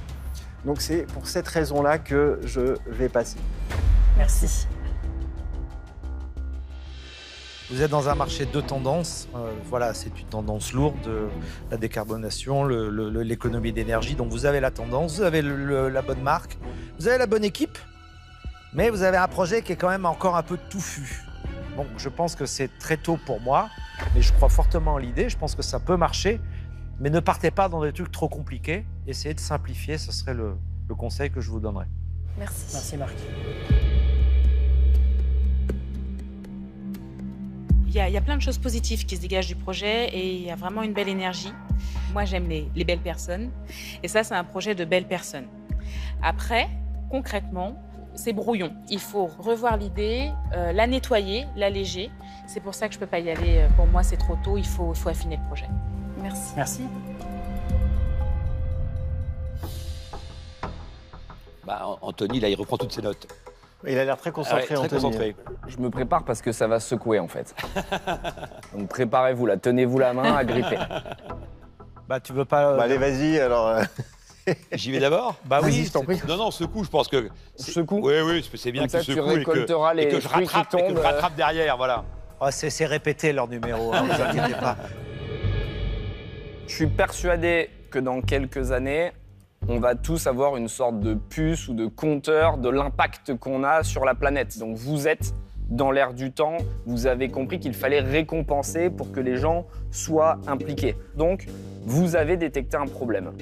Sauf que vous l'avez pris à l'envers, puisque vous avez d'abord créé quelque chose d'efficace, de beau, sans savoir si quelqu'un voulait l'acheter. Donc vous êtes des gens bienveillants, agréables, gentils, mais il vous manque un aspect un peu shark, un aspect requin. Il vous manque un vendeur, il vous manque quelqu'un qui veut faire de l'oseille. quoi. Et vous êtes là pour faire de l'argent. C'est-à-dire que là, pour le moment, c'est un peu trop bienfaiteur, mais j'aime bien la promesse et je vous aime bien vous, sauf que vous m'avez fait peur sur les chiffres. Vous savez pas compter. Ou alors, euh, ce soir, euh, vous êtes stressé, euh, ça va pas. Donc, je pourrais me chauffer pour investir à une condition, c'est que vous soyez capable de répondre à la question suivante. Combien ça fait 10 millions divisé par 10 000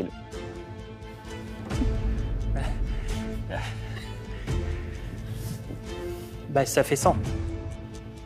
Est-ce que tu es sûr? Parce que mon investissement dépend de ta réponse. Ça fait. Bah, ça fait 1000. Ça fait 1000. Ça fait 1000. Bien joué. Ok. Bah, si tu- s'il se trompe et que tu reposes la question, c'est que tu voulais investir. Non, mais, oui, j'ai dit, ça m'intéresse d'investir, mais il faut que vous soyez compté un minimum. Donc moi, je suis prêt à vous faire une offre, mais le risque que je prends ne vaut absolument pas les 9% que vous me proposez, en sachant que l'argent que je vous mets, en réalité, vaut bien moins que l'énergie que je vais vous transmettre et euh, l'énergie que je vais mettre au quotidien pour vous aider. D'accord? Donc, je suis prêt à mettre 70 000 euros, pas pour 9%, mais pour 20% de la société, ce qui est déjà, à mon sens, extrêmement généreux. Bah écoutez, donc, je vais pas redire tout ce qui a été dit. Euh, clairement, pour moi, donc la partie B2C, en fait, c'est une vitrine. Et évidemment que tout va se jouer donc sur, sur le B2B. Maintenant, je pense que vous avez une expertise, mais il faut tout reprendre à zéro. C'est pourquoi la Valo, comme le dit Anthony, n'est pas adaptée. Donc moi, je serais assez d'accord de vous faire effectivement donc aussi une proposition. Moi, je vois très bien ce qu'on peut faire. Mais clairement, effectivement, donc, euh, on va devoir rebattre pas mal les cartes et sans doute, effectivement, donc, revenir sur des choses que vous avez faites, hein, je vous le dis très clairement. Et donc, peut-être que je froisserai des égaux, donc, euh, mais c'est toujours mieux que de déposer le bilan. Donc, euh, ma proposition, c'est la même qu'Anthony. Comme ça, vous aurez deux propositions équivalentes et vous pourrez choisir. Donc, on reste sur votre montant, 70 000 euros pour euh, 20 Bon, bah, si je résume la situation, au-delà de la valorisation, c'est aussi un choix d'investisseur auquel vous faites face. Bah, sur ce, vous pouvez Allez, prendre bah, un bon petit peu de temps pour réfléchir. Merci bon beaucoup. courage. Merci en tout cas. Merci.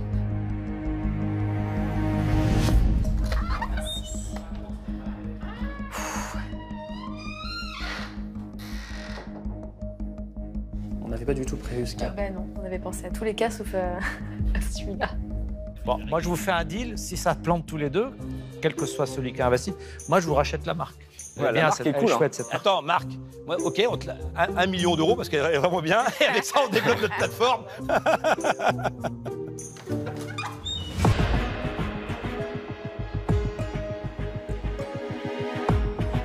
Alors tout d'abord, euh, merci à tous les quatre. Euh, je pense que notre passion a peut-être pris le dessus par rapport Ah, à les la chiffres, je te dis, c'est pas son truc. C'est pas ces trucs, les C'est chiffres, le c'est pas stress, tous les cinq. On est cinq. Ah non, mais Mais pas comme ça d'habitude. hein. Vous n'êtes pas très chiffre, ouais. Quel est le principal défaut de Kevin? Il n'est pas chiffre. Alors, vas-y, on reprend. Donc merci à tous les cinq. Euh, effectivement, euh, déjà pour votre écoute. Vos conseils aussi, très importants. Avant de venir, Anthony, tu nous faisais peur. Euh, merci pour ta proposition. Euh, voilà, c'est ce qu'on voulait te dire. euh. Ok. c'est courageux parce qu'au moins vous vous positionnez sur une personne et c'est ce qu'il fallait faire. Fallait pas essayer de négocier pour les deux. C'est très bien joué. Et Jean-Pierre, ce qu'on aimerait proposer, ne pas partir sur 20% par rapport aux 9% qu'on évoquait, mais partir plutôt sur 16% pour 70 000 euros. Moi, je trouve que votre contre-proposition, qui est, qui est trop faible, est normale, parce que quand on, on discute euh, d'un business et qu'on discute effectivement d'un- d'une association, donc euh, c'est pas à sens unique. Par contre, je ne peux pas accepter 16%. Donc, je vous propose 18, qui me semble le bon compromis entre nos deux positions.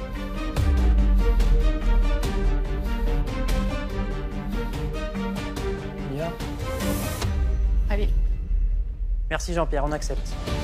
Formidable. Merci. Merci à vous, camarades. Bon, Merci bon beaucoup. courage. À, Ouais. à très vite. À très vite. À bientôt. Ouais, suis Merci beaucoup. Bravo, Merci félicitations. Merci Jean-Pierre. Ils sont trop mignons. C'est fou que les gens aient peur comme ça quand même. euh, Alors que je suis hyper sympa en, en- en vrai. Oui, en Quand je lui dis, attendez, accrochez-vous. Les gens me disent toujours que t'es plus sympa en vrai. Il faut que j'arrive à travailler cette Non, mais il faudrait, il faudrait maintenant que tu fasses un bouquin, tu vois, avec un titre un peu différent. La bienveillance, c'est moi. Enfin, tu vois, quelque chose qui. Non, comment j'ai inventé la bienveillance? Par Anthony Bourmont.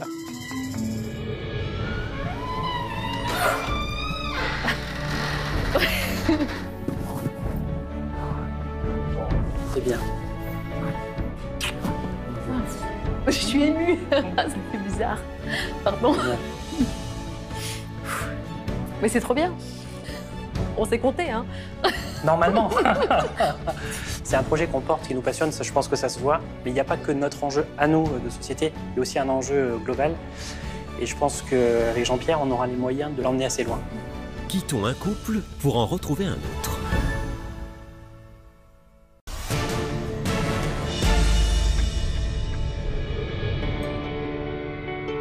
Pour cette nouvelle présentation, un vent d'amour va maintenant souffler sur le plateau.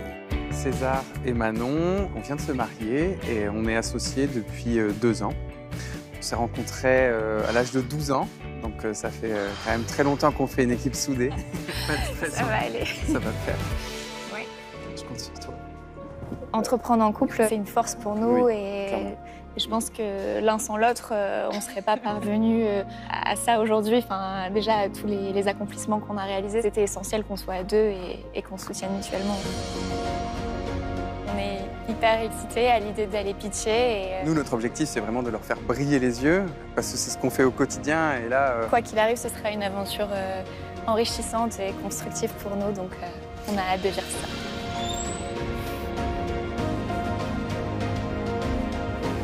Bonjour. Bonjour. bonjour à tous. Bonjour à tous. Donc nous, on est César et Manon. On a 30 ans, on est associés et on vient tout juste de se marier. Félicitations. Merci, c'est gentil. On a créé ensemble Audace, la maison de joaillerie euh, nouvelle génération qui ose bousculer l'univers secret et opaque de la place Vendôme. Je vais vous demander d'imaginer une joaillerie où l'élégance rencontre l'éthique et l'innovation. Cette joaillerie, c'est la nôtre et on va vous convaincre de l'adopter. Nous vous invitons à rejoindre avec nous la révolution du diamant. Zéro mine, zéro conflit, zéro extraction. Tous nos bijoux Audace sont conçus en France à partir d'or recyclé et de diamants qui sont cultivés en laboratoire. Aujourd'hui, on est venu euh, vous proposer d'investir 190 000 euros contre 10% du capital. Alors il faut savoir qu'Audace, c'est avant tout euh, une histoire d'amour qui a démarré il y a très longtemps. Parce qu'avec César, on s'est rencontrés à l'âge de 12 ans sur les bancs de l'école.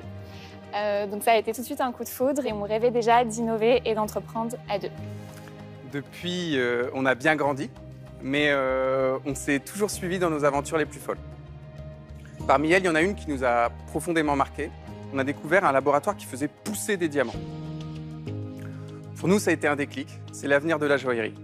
Donc, ni une ni deux, on a décidé de créer notre maison de joaillerie Audace. Alors, je tiens dans ma main gauche donc un carat de diamant euh, extrait de la terre, un carat de diamant de mine, et dans, dans ma main droite un carat de diamant cultivé en laboratoire. Donc, écologiquement, donc, ce diamant de mine représente à lui seul 250 tonnes de minerais extraits, 450 litres d'eau gaspillée. C'est aussi des hectares de végétation détruits et des sols et des eaux pollués à jamais. Ici, dans ma main droite, donc le diamant cultivé en laboratoire, c'est zéro extraction, donc pas de trou dans la terre ni de déforestation, et c'est moins d'un verre d'eau gaspillé. Donc d'un point de vue euh, éthique, on connaît tous également les dérives causées par ce diamant de mine, donc la surexploitation des êtres humains, le travail des enfants, les diamants de conflit et la contrebande.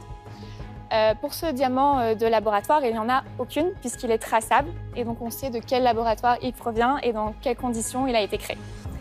D'un point de vue prix, étonnamment, ce diamant euh, de laboratoire est deux fois moins cher que ce diamant de mine.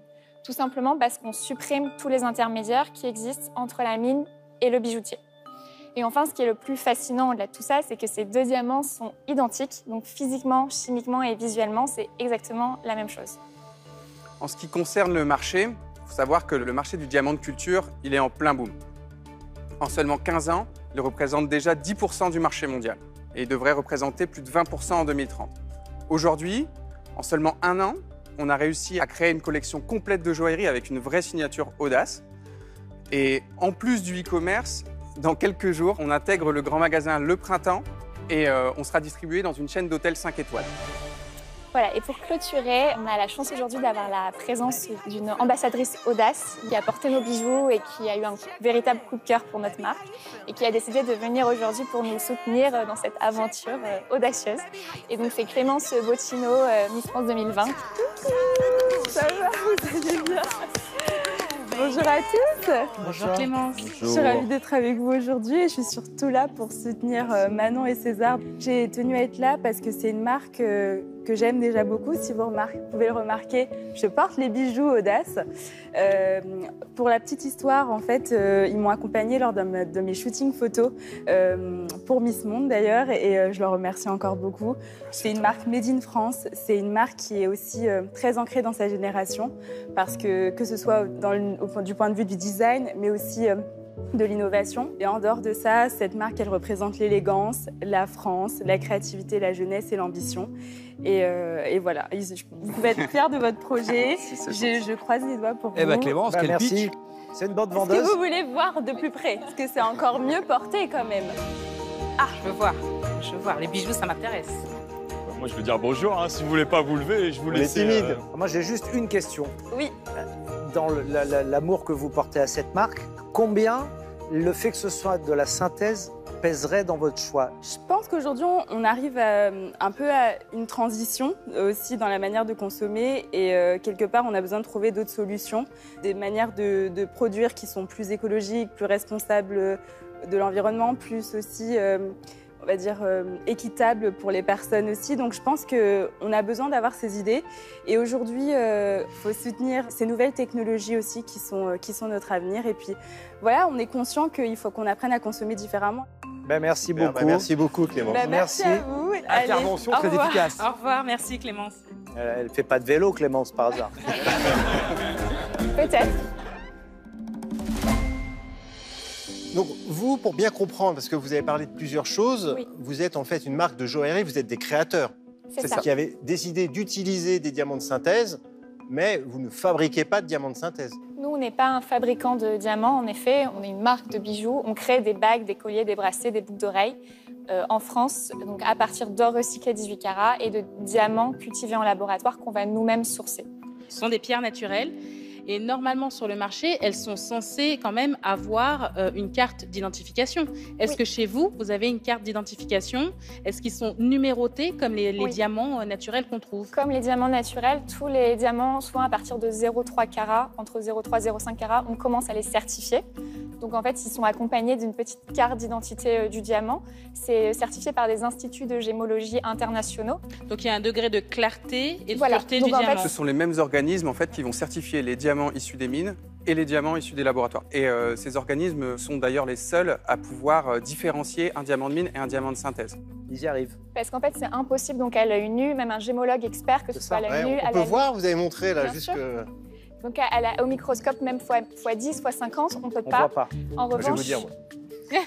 donc en effet, il y a uniquement ces instituts qui ont des appareils extrêmement poussés qui peuvent étudier enfin, vraiment la profondeur euh, du diamant. Et euh, la, la manière dont les atomes de carbone se sont en effet superposés va euh, donner une indication sur le fait que ce soit un diamant de mine ou un diamant de laboratoire. Donc la joaillerie, ça va de le bijou, le bijou fantaisie, jusqu'à la haute joaillerie. Vous vous positionnez où, vous? Alors disons en termes de prix ou en termes de concurrents pour que ça nous parle Vous mettez en face de qui? On reste une marque de, une maison de joaillerie de luxe. Donc nos, nos- nos- prix, euh, le panier moyen, il est autour de 1600 euros. Et euh, la gamme aujourd'hui, elle commence autour de 990 euros et jusqu'à 12 000 euros pour le moment. Et qu'est-ce qui explique que ce soit finalement aussi cher? On ne vend pas juste des diamants, on vend quand même euh, des bijoux avec un design euh, qui est réfléchi, qui est féminin, singulier, qu'on trouve nulle part ailleurs. On travaille aussi sur une image fraîche, jeune, chaleureuse, de qui, fiançailles qu'on vient de qui tranche avec l'image euh, un peu plus froide et intimidante des Ouais. maisons de joaillerie traditionnelles. Donc oui, voilà, nous, c'est une marque avant tout. euh, on utilise cette innovation. mais pas que. Mais pas que, voilà. Qu'est-ce qui empêche les grandes maisons de, de mettre euh, une accélération sur ça et, et qui fait que bah, qu'ils vous dépassent parce qu'ils ont tellement de moyens, euh, Tiffany ou, ou Cartier? Bah, Aujourd'hui, c'est un peu une situation délicate pour eux parce que commercialiser euh, du diamant de laboratoire, ça, ça revient à pointer du doigt quand même ce qui... Tout ce qu'ils ont créé depuis. Bah, euh, Ça pointe du doigt les dérives de l'industrie de la joaillerie traditionnelle et euh, de l'industrie du diamant.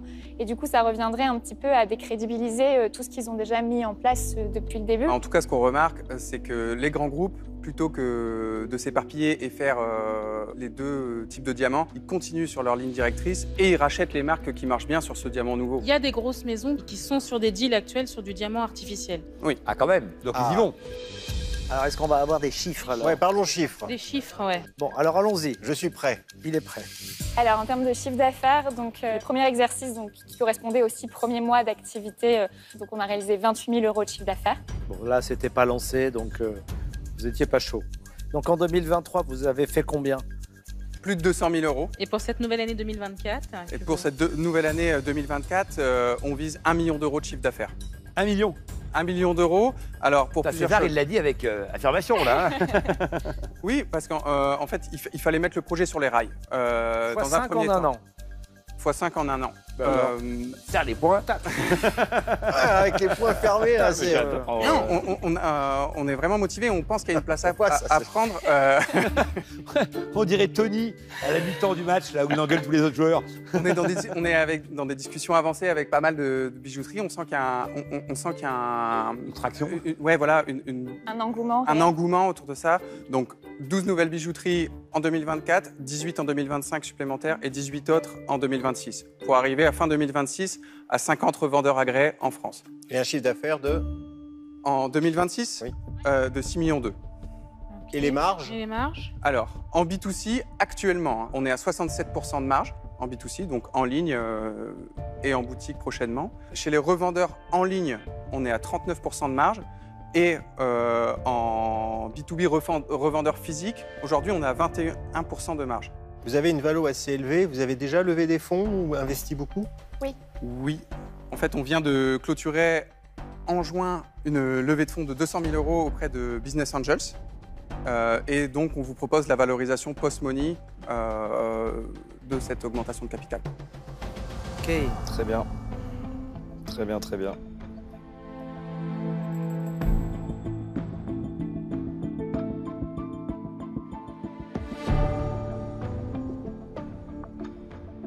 Euh, alors moi, je, je, je- je- faut que je vous avoue un truc, c'est que quand je regarde des bijoux, c'est comme si je regardais des biscottes. J'ai Ah. aucun avis, donc c'est moi, je sais.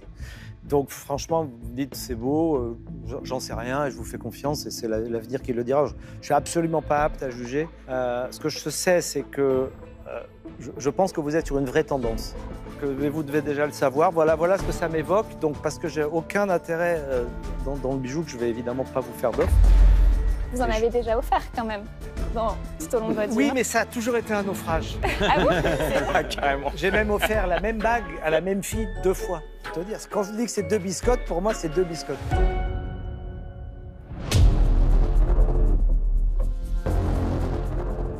L'idée de révolutionner la joaillerie, je trouve que c'est euh, c'est assez intéressant. Après, euh, vous ne faites pas très révolutionnaire. C'est-à-dire que votre couple est assez formidable parce qu'on on voit effectivement une complicité, une très bonne éducation, une capacité à bien réaliser les choses. Je ne sais pas si vous êtes- vous n'êtes pas, euh, pas, pas suffisamment un peu espiègle par rapport à cette marque. C'est-à-dire audace, il, faudrait un côté plus audacieux et je, je trouve un, peu trop sage par rapport à la marque et par rapport à la promesse. Moi, je ne sais pas évaluer votre marché. Et donc, je ne sais pas si vous êtes sur une, une tendance de fond ou si finalement ça va faire pchit. Je ne sais pas si on peut vendre des bijoux sans avoir effectivement donc une marque très forte. Et je ne sais pas si vous avez la capacité à en construire une. Donc, compte tenu de ce que j'ai expliqué, donc je vais passer. D'accord. Déjà, félicitations. C'est pas facile de, de commencer une marque. En plus, j'aime bien le, le nom, j'aime bien le logo, j'aime bien comment vous êtes exprimé. Vous êtes un, un super couple, il n'y a rien à dire. Euh, vous êtes clairement sur une, une tendance. Euh, vous avez une super ambassadrice. Vous avez fait le bon choix. Après, moi, je rejoins Marc. Franchement, j'y connais rien. Franchement, dans les, dans les diamants. Et, et des fois, il faut, faut connaître sa, sa valeur. Et, et je pense pas que je peux être une, une valeur ajoutée pour vous dans, dans ce domaine-là. Et pour toutes ces raisons, euh, je, vais, je vais passer parce que je m'y connais pas assez. Merci. D'accord, merci.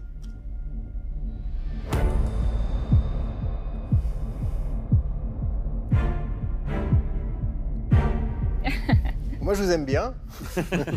Hein Euh, et je pense que euh, César, malgré votre tête de gendre idéal, je suis sûr que euh, vous savez être audacieux et que ça, il n'y aura, pas de problème. Mais effectivement, Jean- Jean-Pierre a raison. Il faut sûrement un petit peu casser les codes, aller un petit peu plus loin et, prendre des risques là-dessus. Je suis assez d'accord. Euh, assez convaincu sur euh, l'histoire des diamants de synthèse. hein. J'avoue que c'est un univers euh, que je ne connais pas et je pense que l'univers des diamants est assez compliqué et opaque.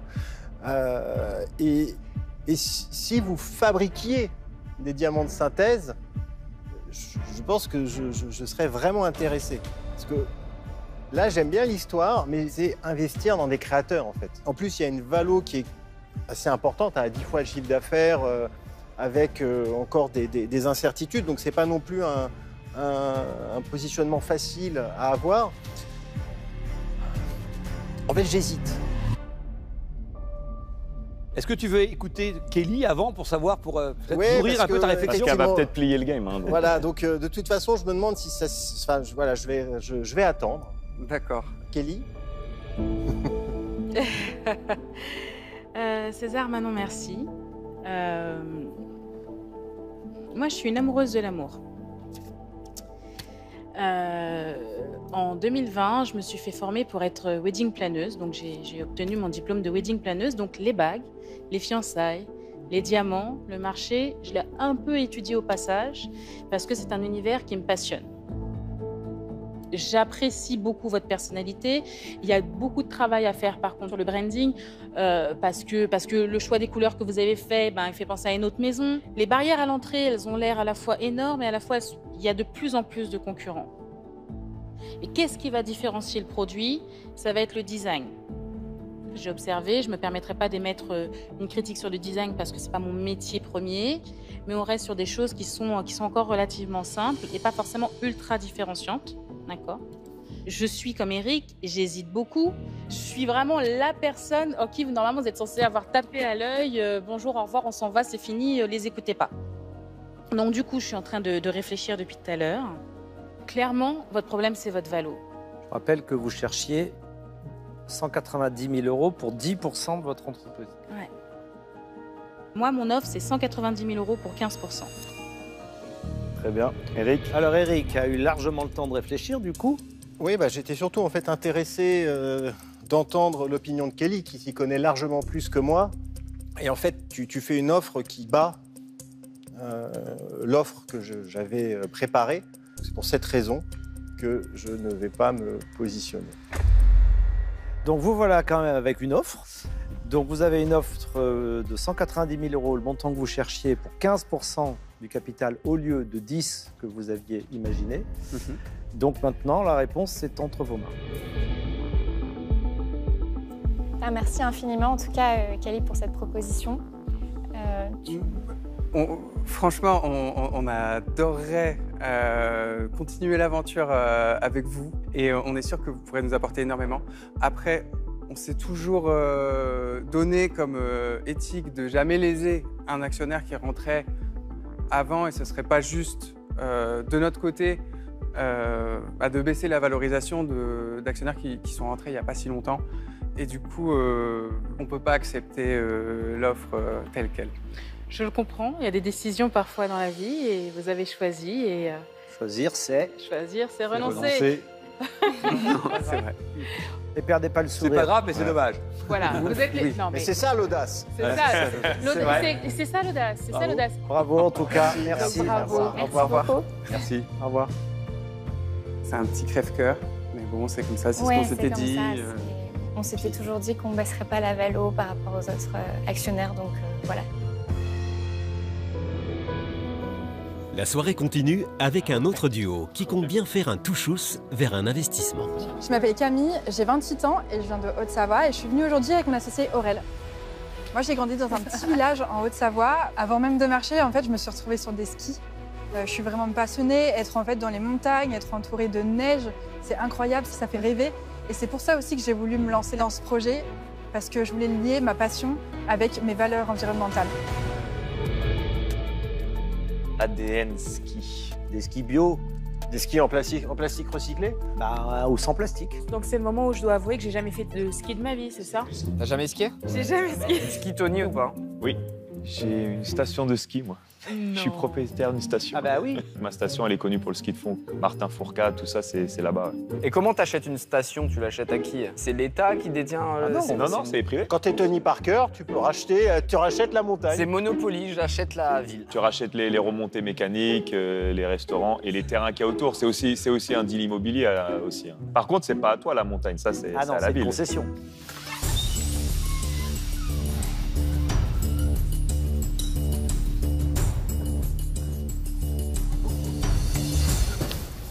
C'est sympa. Bonjour. Bonjour. Bonjour. Bonjour. Monsieur Simoncini, vous êtes un skieur passionné par la montagne. Ah ouais.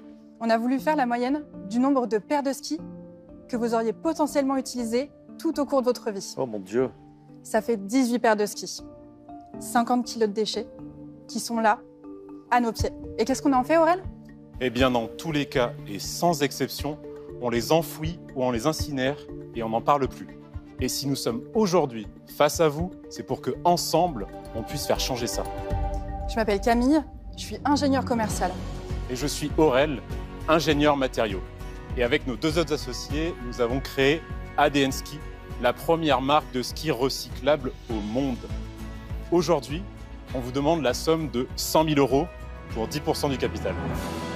Alors, pour vous raconter un petit peu mon histoire, depuis que je suis toute petite, je suis passionnée par le ski. Et un jour, je me suis demandé ce que devenaient bah, nos skis usagés. Et je suis tombée sur cette étude qui disait que, de par sa construction dite sandwich, le ski est un monobloc indissociable. En effet, comme un sandwich, différents matériaux sont assemblés pour ne former qu'un grâce à une colle dite thermodurcissable qu'il est impossible de dissoudre ou faire fondre, ce qui rend le ski non recyclable. Et c'est pour ça qu'on a créé ADN Ski. ADN Ski, c'est le projet qui aide les skieurs à rider de manière éco-responsable en leur proposant un matériel recyclable et qui sera recyclé. Et pour rendre cela possible, eh bien, on a remplacé la résine traditionnelle par une résine recyclable. Grâce à un liquide semblable à du vinaigre blanc, on peut séparer le ski et récupérer les différents matériaux pour un nouvel usage. Nous avons aussi intégré dans le ski une éco-conception qui permet d'accélérer ce processus sans changer les performances du ski et que nous avons bien évidemment breveté. Et puisque l'accessibilité est super importante pour nous, on rend nos produits abordables. Une paire de skis ADN coûte 600 euros sur un marché sur lequel une paire peut aller jusqu'à plus de 1000 euros. Et puisqu'une bonne nouvelle n'arrive jamais seule, l'un des leaders mondiaux du marché nous a déjà rejoint. On est partenaires. Ensemble, ils vont nous accompagner sur la production des skis et nous allons co-développer avec un ADN commun un matériel plus respectueux de l'environnement. Mais pour être honnête, notre ambition la plus forte, c'est de créer la première fabrique de skis recyclables au monde, localisée en France. Alors, prêt à gravir la montagne ensemble? Marc, euh, Bah, on c'est t'écoute. là. bah, Qu'est-ce que tu as à dire pour ta défense? Ah, oh là là, oh là là, oh là là. Euh, on va déjà faire business un peu. Lancer une marque de ski, c'est ultra difficile parce que la construction d'un ski, c'est quelque chose, mais la marque et les valeurs que porte la marque, c'est encore autre chose. Donc, ce que j'ai pas bien compris, c'est est-ce que vous voulez donner votre technologie à des grandes marques qui vont mettre un stamp ADN Ski, ils vont concevoir les skis avec votre technologie et ils vont vendre sous leur marque Ou est-ce que vous voulez créer from scratch une marque de ski venue euh, sur le marché aujourd'hui? Nous, ce qu'on veut faire, c'est vraiment créer notre fabrique, donc qu'elle soit à nous. Euh, proposer justement la composition clé en main pour les entreprises, devenir une marque blanche. Et puisqu'en fait, on pense à toute la chaîne de valeur. C'est-à-dire que nous, on inclut aussi la filière de recyclage à notre production. C'est pour ça qu'on veut vraiment euh, faire notre propre fabrique et non pas licencier notre euh, brevet. Mais pourquoi? Pourquoi vous voulez faire votre propre fabrique avec toute la difficulté, la complexité, plutôt que de licencier la technologie, le brevet que vous avez, travailler avec des industriels qui vont l'appliquer et qui, au final, par ce, biais, aura peut-être plus de chances de faire en sorte que les skis deviennent recyclables. Là, il faut savoir qu'on est aujourd'hui associé avec Salomon. Donc on a toutes ces contraintes industrielles, on comprend les difficultés. Et justement, pour eux, intégrer ces skis recyclables dans leur filière, c'est possible, mais ça rajoute des contraintes. Et d'avoir une usine dédiée aux skis recyclables avec ses propres techniques, ses propres spécificités, pour eux, c'est une force. Pour nous aussi, d'où notre volonté. Ça vend combien de paires de skis par an, une grosse marque comme Salomon ou Rossignol Je ne me rends pas compte. Environ 450 000 paires de skis. Et an. leur gros du business, c'est la location, j'imagine, ou de la vente directe aux consommateurs? Le gros du business, c'est la location. C'est plus de 80% du marché, c'est énorme. Vous avez approché Ski 7, j'imagine, euh, et, ils ne sont, ils sont pas OK pour vous mettre quelques skis euh, en démo, euh, en location? Euh, on a déjà sécurisé des partenariats avec des loueurs, notamment Ski 7. Mais là, vous êtes en train de nous dire que vous faites une usine, une marque, un deal avec Salomon, un deal avec Ski 7, et vous venez chercher 100 000 euros. Qu'est-ce que Ouais, vous allez faire avec 100 000 demander, euros Qu'est-ce qu'on fait avec les 100 000 euros? C'est ce que j'allais demander. Avec les 100 000 euros, on va pouvoir mettre euh, notre filière de recyclage en place. Euh, donc c'est vraiment le but de mettre notre filière de recyclage et de continuer la R&D pour améliorer le processus de recyclage qu'on met en place. Attendez, parce que là, il y a en plus, après tout ce qu'on a dit, la filière de recyclage. Oui. J'ai un peu de mal à comprendre à la fin ce que vous voulez vraiment faire et c'est important pour comprendre votre business. Pour clarifier déjà le point de la filière de recyclage, donc nous, on ne va pas faire une usine de recyclage, on va l'intégrer dans des entités qui existent déjà.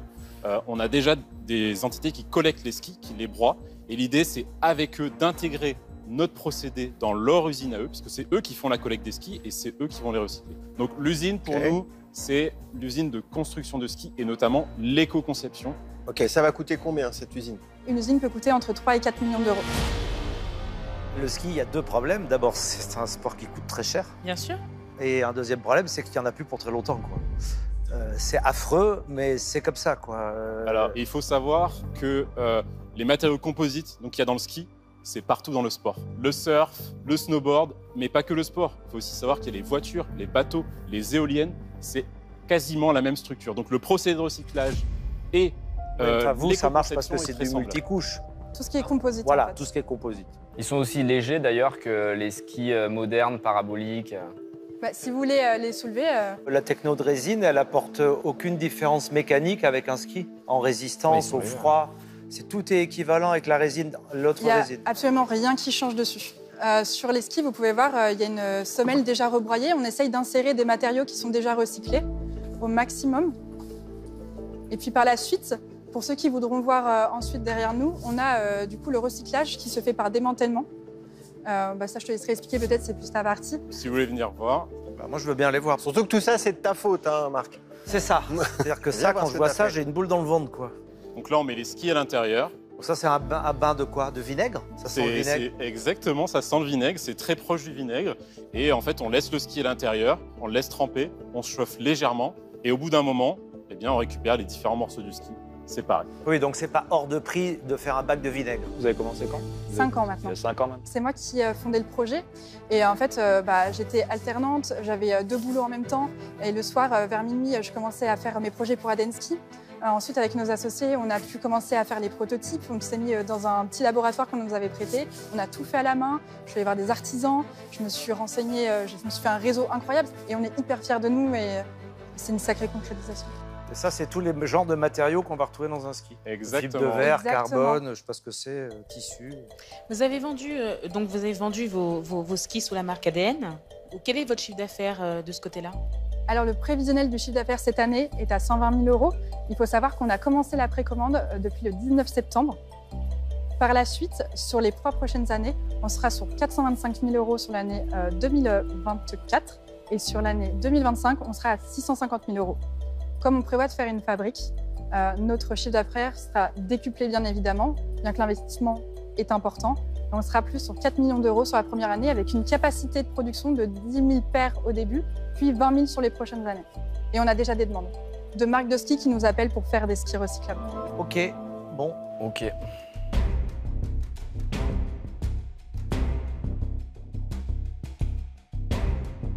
Sans vouloir mettre de pression, euh, il n'y en a qu'un qui a une station de ski euh, entre nous. hein, mais bon, après. Alors moi, moi j'ai pas de station de ski, donc euh, je vais commencer. Euh, le ski, la glisse, c'est la liberté, c'est le plaisir. Et j'ai trouvé que quand vous êtes arrivé, c'était vachement pesant. Vous avez fait le choix de la culpabilité. On était quand même en se disant waouh. Et je vous invite peut-être dans vos pitchs à, à réfléchir à l'image que vous renvoyez et être quand même plus dans le, dans le sourire, le plaisir et, et peut-être moins en fait cette charge émotionnelle forte et dure du, du- du déchet. Euh, je connais un peu cet univers. J'ai investi dans une euh, start-up qui s'appelle Blackline, euh, qui fait des attaches euh, pivotantes pour snowboard et qui fait aussi des skis. Et je sais à quel point c'est difficile, à quel point c'est compliqué, à quel point c'est l'enfer. Et j'ai pas envie d'y retourner. et donc je vais passer. C'est vrai que Camille, tu as été un peu froide au début, mais c'est quand tu vas raconter une histoire que les investisseurs vont se reconnaître. Tu attrapes beaucoup plus les gens que si tu les mets face à leurs problèmes de consommation. Donc c'est dommage, mais heureusement, à la fin, tu, tu l'as bien fait. Maintenant, vous avez une mission qui est belle et qui est cohérente. Donc, ça fait réfléchir sur le sujet. Maintenant, de la manière dont vous me l'avez présenté, je trouve que c'est un peu utopique, un peu idéaliste, un peu rêveur. Simplement, je ne vais pas vous accompagner dans cette histoire parce qu'elle me paraît euh, vraiment compliquée à réaliser. Donc, je vous souhaite le meilleur et je suis impatient de pouvoir tester votre matériel. Avec grand plaisir. Merci beaucoup.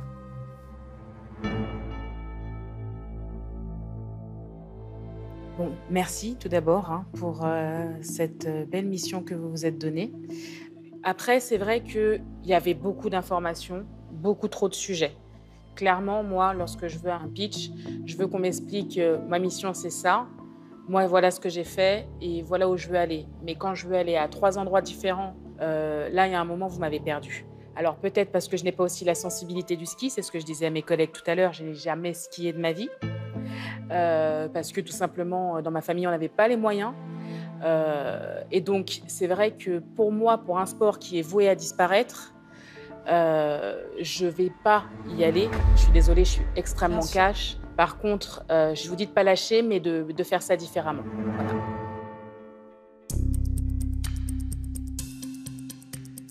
Vas-y, Tony. Et bon courage. Bon, j'y vais, c'est comme tu veux. Hein, ça... Non, non, ça... Donc, comme disait Anthony, moi, je suis bien sûr euh, propriétaire d'une station, de Villard-de-Lans, Corançon. Et euh, j'adore ce monde-là, comme Kelly. Euh, quand j'étais petit, j'ai jamais pu skier. Mes parents, ils n'avaient pas les, moyens. Et je regardais ça de loin et ça m'avait toujours euh, euh, attiré. Et j'ai commencé le ski très, très tard. J'ai commencé à 37 ans. Et pour moi, il est jamais trop tard. Euh, il faut juste y croire et y aller à fond. Et j'avais peur, mais un truc de malade. J'ai jamais eu au- aussi peur d'être devant une montagne comme ça et tu vois tout le monde stylé comme ça, ils font ça trop facile.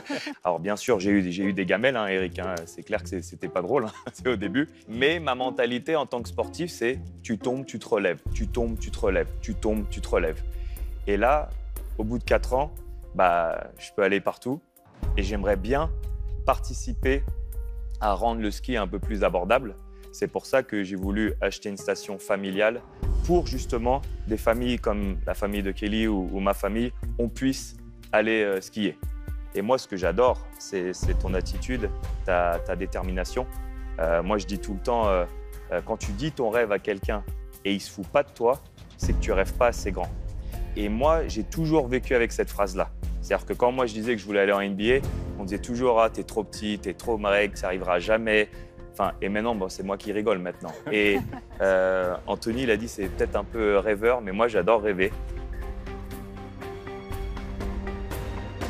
Donc moi, je vais vous offrir vos, vos 100 000 euros pour euh, 10% de vos sociétés et vous accompagner euh, dans ce grand rêve. Merci beaucoup, c'est incroyable. Est-ce que vous acceptez que- ah, attendez, t'emballes Oui, pas, bien j'ai sûr, pas il reste parlé. un- Ils ont pas dit oui. C'est sûr que ça devient plus compliqué le game maintenant, lui. euh, avec, avec- Euh, bon, alors, c'est super pas simple ce, ce cas pour moi. Euh, vous, vous êtes dans la catégorie des entrepreneuses qui font de la pensée magique. En gros, je veux sauver la planète. Et pour sauver la planète, ça s'appelle de la pensée magique. Vous allez faire une marque, vendre un label, créer une usine, créer le recyclage. Ça, c'est la pensée magique. C'est génial parce que votre rêve est gigantesque. Bon, le problème, c'est que dans la vie, la pensée magique, elle ne se réalise pas. Il faut aller derrière, mettre des boulons et les pieds dans la merde. Ce que vous avez fait, franchement, avec 50 000 euros, c'est formidable. Donc, nous, on est là avec nos petits euh, bras et on dit, euh, voilà, ben, ou elle est folle, ou c'est un génie. Bon, alors, donc, on est un les peu, deux, on hein. est un- ou les deux. Moi, je pense qu'il y a plein de boulot au niveau marketing. Vous avez plus créé un label ADN Ski qu'une marque. Par contre, je pense que vous avez raté une étape, c'est que les skis qui servent, servent à descendre, il va s'en vendre de moins en moins. Le ski tel qu'on le connaît, les remontées mécaniques, c'est de l'électricité, il faut faire tourner des machins qui remontent les gens, ça ne peut pas durer comme ça. Et ce qui a explosé, c'est pas le marché du ski pour descendre, c'est le marché du ski pour monter. C'est le ski de rando. Donc plutôt que d'essayer de faire des skis de descente, je pense que vous feriez mieux de vous attaquer à une marque de ski de montée, de rando. Parce que les gens qui font de la rando, ils sont dans la nature et ils sont contents d'avoir des skis écolos aux pieds parce qu'ils sont très proches de la nature. Je pense que vous avez un vrai créneau sur ça. Alors maintenant, concernant mon accompagnement, évidemment, lui, c'est que je fasse. Donc je vais faire ce que je peux. Un, moi je suis très proche de Ski 7, c'est ma voisine. hein. Voilà. Euh, deux, euh, j'ai travaillé avec toutes les stations de ski pour essayer de leur vendre des dameuses, donc on connaît tous les gens des stations de ski. Euh, trois, euh, j'ai des copains qui sont très proches des marques dont vous parlez au niveau du board. Moi, je pense que là, pour une fois, euh, je pense que ça peut être un deal qu'on le fasse tous les deux. Euh, mais je pense que vous ne pouvez pas vous passer de Tony. euh, Donc voilà, je vous fais une propale en disant bah, je viens aussi pour 100 000 euros, donc ça fait 10% pour moi aussi. Alors voilà. attendez, je résume. Vous avez Ben, Denis qui a proposé 100 000, Marc qui a proposé 100 000 pour 10% chacun. Donc là, potentiellement, c'est que vous pouvez prendre 200 000 pour 20% en fait. Ou et avoir les des deux. Ou un des deux. Ou personne, Mais si bon, il y a quand même une règle en business. Quand il y a l'argent, il faut le prendre. hein. Si vous ne le prenez pas maintenant, vous allez le regretter. Alors, vous avez le temps de réfléchir, hein, vous avez le droit de réfléchir. Vous pouvez prendre quelques minutes pour, euh, vous- si ce n'est pas déjà évident pour vous. Est-ce que vous pensez pouvoir peut-être investir à deux, faire moitié-moitié? Alors, en dessous de 10% dans une boîte, euh, c'est comme si j'y étais pas, quoi. Je comprends. Eh ben, on vous proposerait à ce compte-là de prendre 15% pour 150 000 euros, donc 7,5 chacun. Parce que comme on l'a dit tout à l'heure, on veut faire cette fabrique absolument. On pense que c'est comme ça qu'on va être scalable et on va devoir faire des grosses levées de fonds. Déjà, moi, j'ai l'habitude de, de prendre plus de pourcentage. J'aime pas trop si c'est en dessous de 30%. Je, je suis cash. hein. Donc moi, je vais rester à 10% et absolument aller avec Marc. Mais pour 7,5, franchement, ça ne m'intéresse pas. Enfin, je vais laisser Marc parler, mais moi, Bah, personnellement. Je, je vais le dire euh, de manière moins polie que, Tony, mais vous êtes encore en train de penser à des pourcents. Donc je suis désolé, toutes les saisons je la sors, mais je n'en ai pas une meilleure. On n'achète pas son pain en pourcents. Ce qui compte, c'est la valeur de votre boîte. Arrêtez avec ces pourcentages. Donc vous avez Tony Parker qui rentre à 10%, moi qui rentre à 10%, et là vous dites, ah 10 c'est beaucoup, c'est mieux 7,5. Mais la valeur de, de ce qui vous reste, elle est infiniment supérieure si on vient que si on n'y est pas. Donc je vais être comme Tony, 10% c'est le minimum pour se sentir impliqué. Moi en général c'est 20, lui c'est 30, donc 7,5 euh, on dirait un truc. Vous auriez dû vous prendre 50 du coup, vous imaginez Ouais, euh, c'est ça. On- Franchement, si on était dur, on vous dirait, bah non, c'est 100 000 pour 20 chacun, Ah oui, comme contre-proposition. Alors, je vais pas le faire. mais Je vais pas bouger de ma proposition. c'est pour ça qu'on doit être accompagné aussi. Hein. euh. C'est qu'on a besoin de conseils aussi finalement. Et ben, je pense que du coup, on va accepter vos deux propositions. J'en ai marre de. On peut pas dire Je suis désolé, mais c'est toujours pareil. Mais Les non, mais pour nous, c'est incroyable de pouvoir s'associer à vous. Ça va. Merci en jouant Aurel. Merci beaucoup. Camille. Bon. Merci beaucoup. Merci. Merci beaucoup. Pour les emmerdes, vous l'appelez. Pour les bonnes nouvelles, vous m'appelez. Merci beaucoup, merci Bravo, à tous. bravo. Hein, félicitations. Super. Merci à tous. Merci. Au Au revoir. revoir. Je suis content pour eux. hein. Ils ont un beau binôme là. hein. Je suis partie d'une idée que j'ai eue euh, dans ma chambre. Et aujourd'hui, euh, on a des investisseurs exceptionnels, Tony Parker et Marc Simoncini. C'était les deux personnes en plus qu'on visait. Et on va pouvoir faire de grandes choses, c'est incroyable.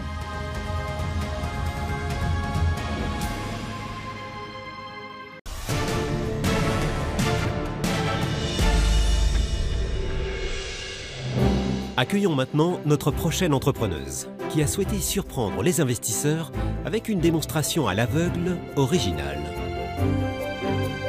Bon, on va manger des trucs dégueulasses, je sens. Arrête. Non, mais qui, qui seront, qui, ont- qui auront très bon goût. Et on va dire Ah, mais c'est vraiment très bon ça. Ah. Voilà. on entend quelque chose. Il se passe quelque chose. C'est vrai que c'est déstabilisant quand même. hein. Ah, de fou.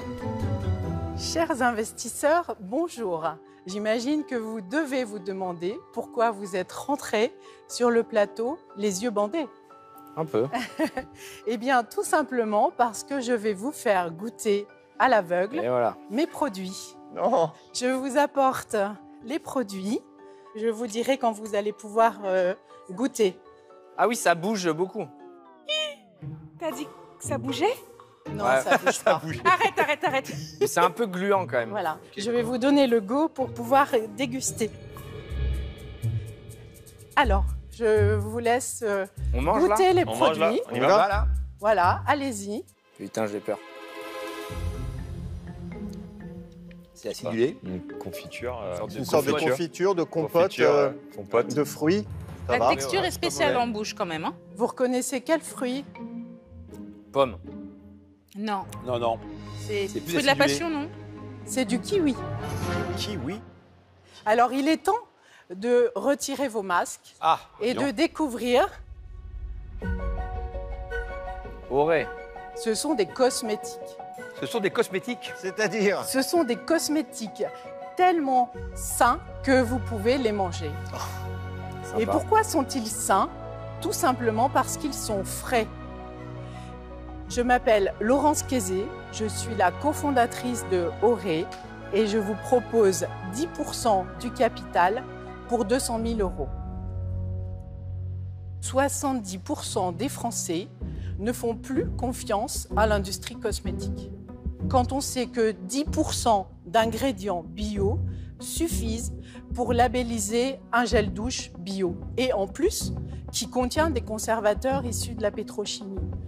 Quand on sait que l'ingrédient qui fait mousser les shampoings solides est réalisé avec des molécules cancérigènes.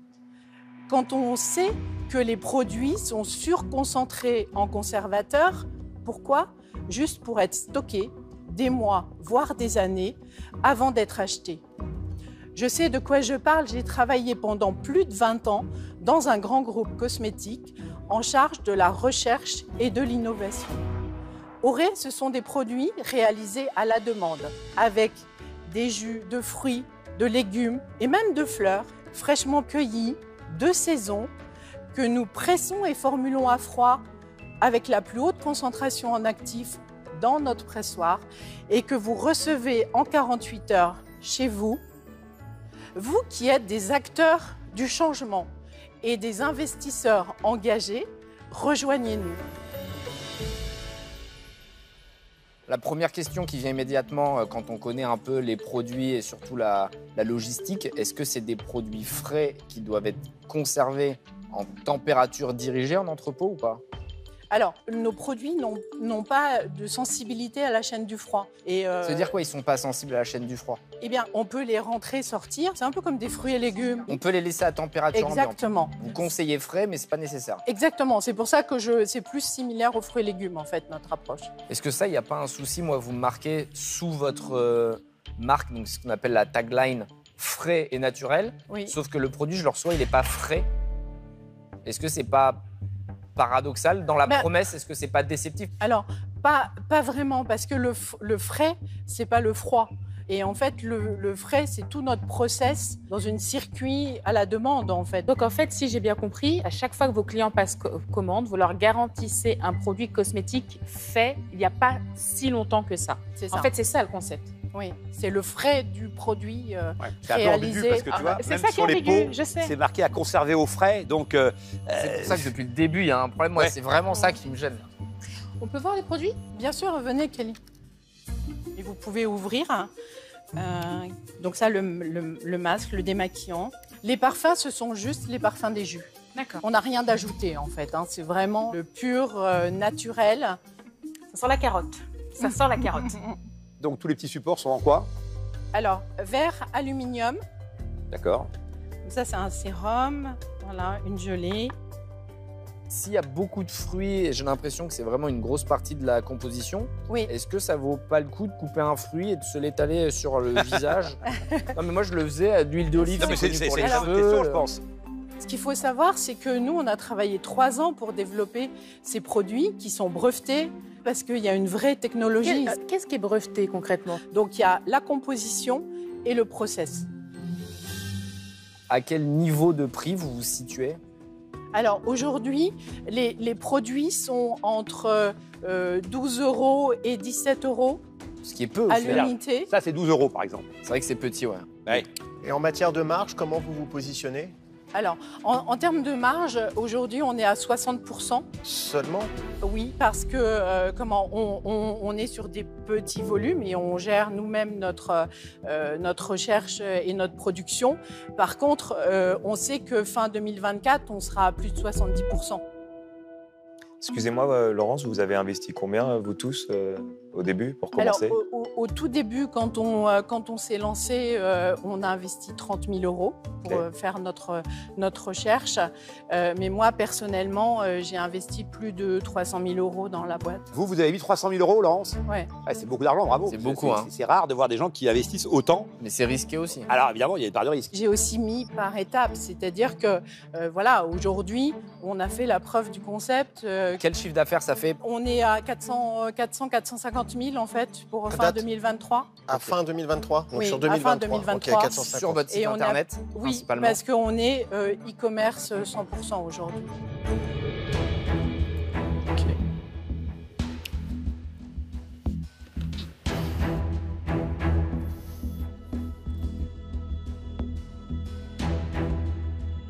Euh, on voit que vous maîtrisez, euh, que vous êtes capable vraiment de, bien expliquer les choses.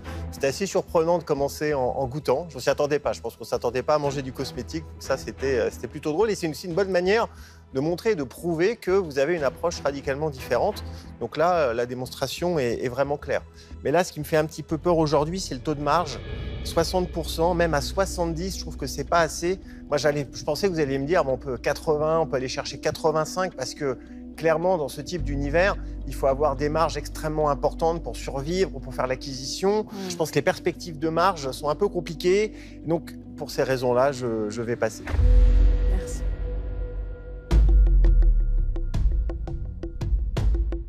Euh, bon, déjà, euh, je trouve que, que c'est une très très bonne idée. Euh, mais je vois pas moi ce que je peux a- apporter. Je pense qu'il y a des personnes plus adaptées euh, dans cette lignée euh, que, que moi. Et donc euh, pour ces raisons-là, euh, je, vais, je vais passer. Mais en tout cas, je vous souhaite bonne chance. Merci Tony. Bah, moi, je vais enchaîner donc euh, après Tony. Donc moi, j'investis dans le- la cosmétique à faire soi-même, donc le do it yourself, donc au travers de, de Biotimix. Donc euh, c'est vrai que c'est un peu les mêmes marchés, qu'on est un peu dans la même, la même logique. Voilà. Mais en tous les cas, moi, je ne pourrais pas euh, t'accompagner. Merci de votre feedback, Jean-Pierre.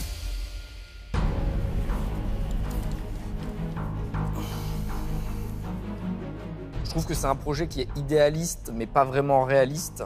Moi, j'ai déjà lancé des produits frais, j'ai arrêté parce que c'était ingérable. Une concurrence qui est énorme, on le sait, hein, c'est le milieu de la cosmétique. Ça va être très dur. Il y a plein de marques qui sont sur le créneau, même si vous, effectivement, cet aspect vraiment fruits, euh, légumes potentiellement un jour, euh, je ne l'ai pas encore vu, mais je ne suis pas un expert. Kelly en saura sûrement plus que moi. Les marges sont faibles. Je rejoins Eric. Sur la cosmétique, c'est des produits, euh, je suis dans 2-3 marques qui sont à 90, 95%. C'est monstrueux les, marges qu'ils font. Et si vous voulez attaquer du B2B, donc aller dans du retail, eux, ils vont vous défoncer la marge. Et donc, du coup, il ne va pas vous rester grand-chose pour avoir une forte croissance. Et à un moment, des marques qui sont exclusivement online, il y en a quand même très peu qui ont réussi dans la cosmétique. Je vais être client plus qu'investisseur, donc je vais passer sur euh, ce coup-ci, mais vous verrez passer mon nom dans votre base de clients dans les jours qui arrivent parce que j'adore mettre des crèmes le matin et le soir. Donc je vais essa- essayer celle-ci euh, dès Avec que je plaisir. pourrai. Merci Anthony. Avec plaisir.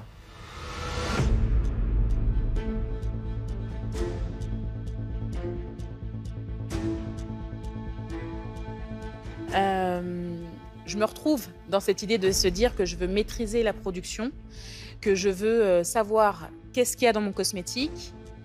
Le problème de ce genre de, de modèle, c'est clairement la scalabilité. Là, à l'instant T, euh, j'arrive pas à avoir la, la marque scalée rapidement, d'accord? Et je suis, contrairement à certains de mes collègues autour de la table, je suis pas quelqu'un qui cherche le pognon, le pognon et, et très, et très vite. J'ai mis Pense à qui là? Tu penses à qui Parce que je, je ne tournerai pas la tête. Mais enfin, je veux dire, il y a certaines marques qui mettent plus de temps à éclore et ça a été le cas de la mienne. Hein, ça fait 14 ans que ma marque elle existe, elle est devenue leader au bout de 12 ans. D'accord? Donc je pense que là, au-delà de l'argent, il faut repenser le modèle, remettre les mains dans le cambouis pour essayer d'améliorer les marges, la distri- les- tous les canaux de distribution possibles, etc. etc. Et C'est pour toutes ces raisons-là que je ne vais pas pouvoir vous accompagner. Merci pour votre feedback et en tout cas, comptez sur moi. C'est vraiment sur ces axes-là que, Merci. que nous allons travailler. Merci, Un bravo. merci. merci vous. Merci, Merci. Au merci revoir. beaucoup. Au revoir. Merci, au revoir.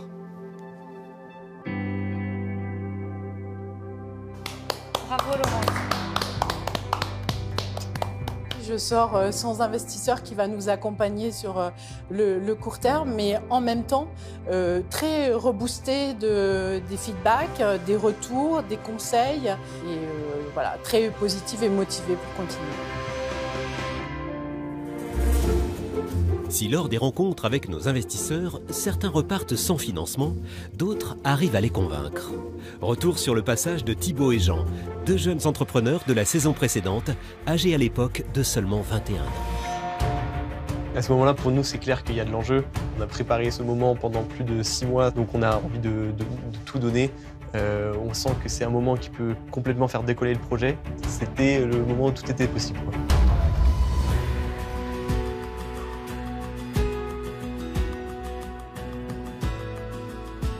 Bonjour à tous, je suis Jean. Je suis Thibaut, nous sommes les deux cofondateurs de Capsme, la solution pour vous faire adorer réutiliser vos capsules de café.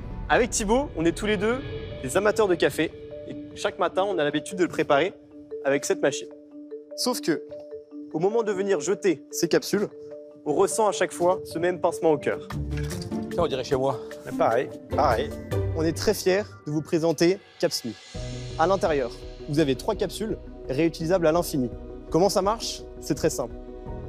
On commence par mettre ici le café moulu de son choix.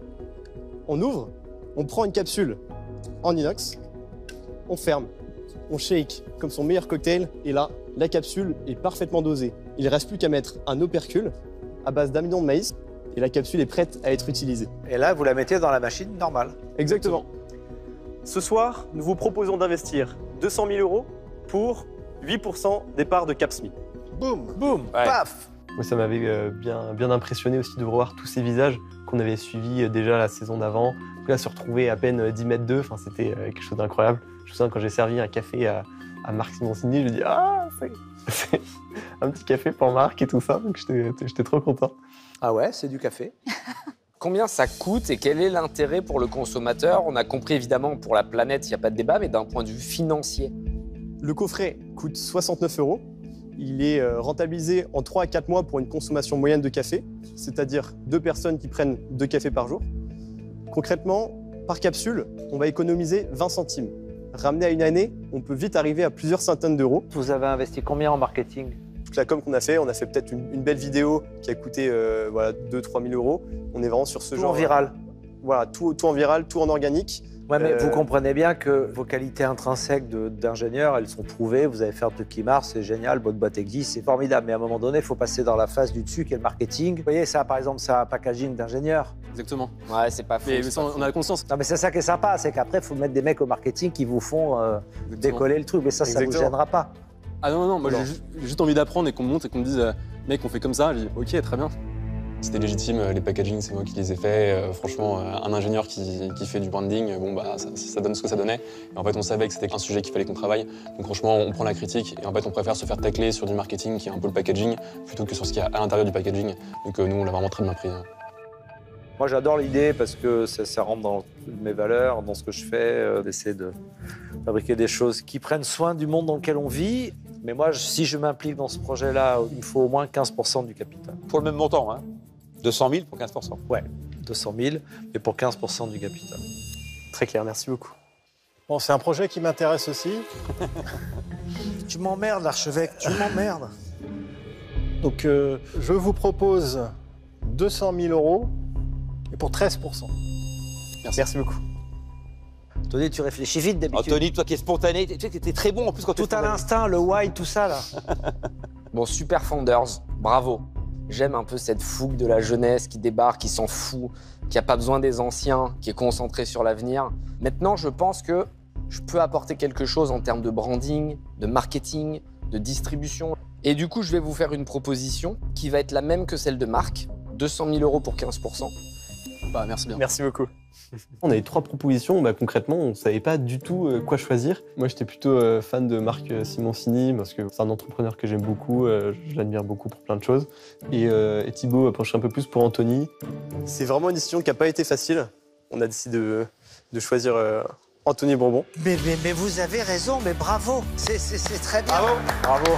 Trop cool, on s'est éclaté. C'est parfait. Bravo, c'est ouf ce que vous avez fait, bravo. Merci beaucoup. On se fait vite un workshop. On a choisi Anthony parce qu'on savait qu'on avait un réel problème en marketing, il fallait vraiment qu'on travaille dessus. Et je pense que c'était le bon choix parce qu'Anthony il a quand même créé pas mal de marques. Donc, euh, pour nous, c'était vraiment important. Quelques mois plus tard, leur passage dans l'émission a été un véritable coup de projecteur pour leur jeune start-up. Ça a été un carton parce que rien que le soir de l'émission, il y a eu plus de 100 000 visites sur notre site internet. On a gagné plus de 5 000 abonnés sur nos réseaux sociaux.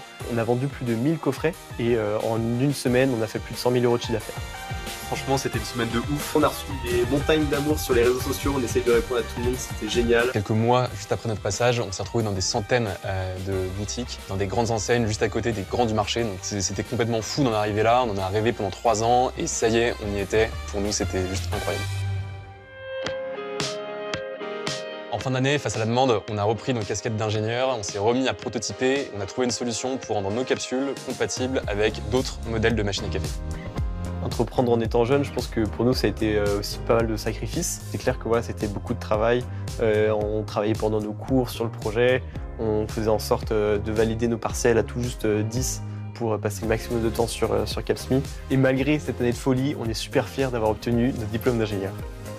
Mais euh, tout ça n'aurait pas été possible sans l'accompagnement d'Anthony Bourbon, euh, qui est notre investisseur et qui a été là dès le premier jour euh, pour nous aider à, à travailler sur tous les chantiers qu'on avait.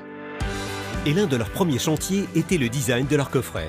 Après plusieurs mois de travail, ils vont enfin pouvoir présenter le résultat final à leurs investisseurs. Ah, c'est les nouveaux packaging?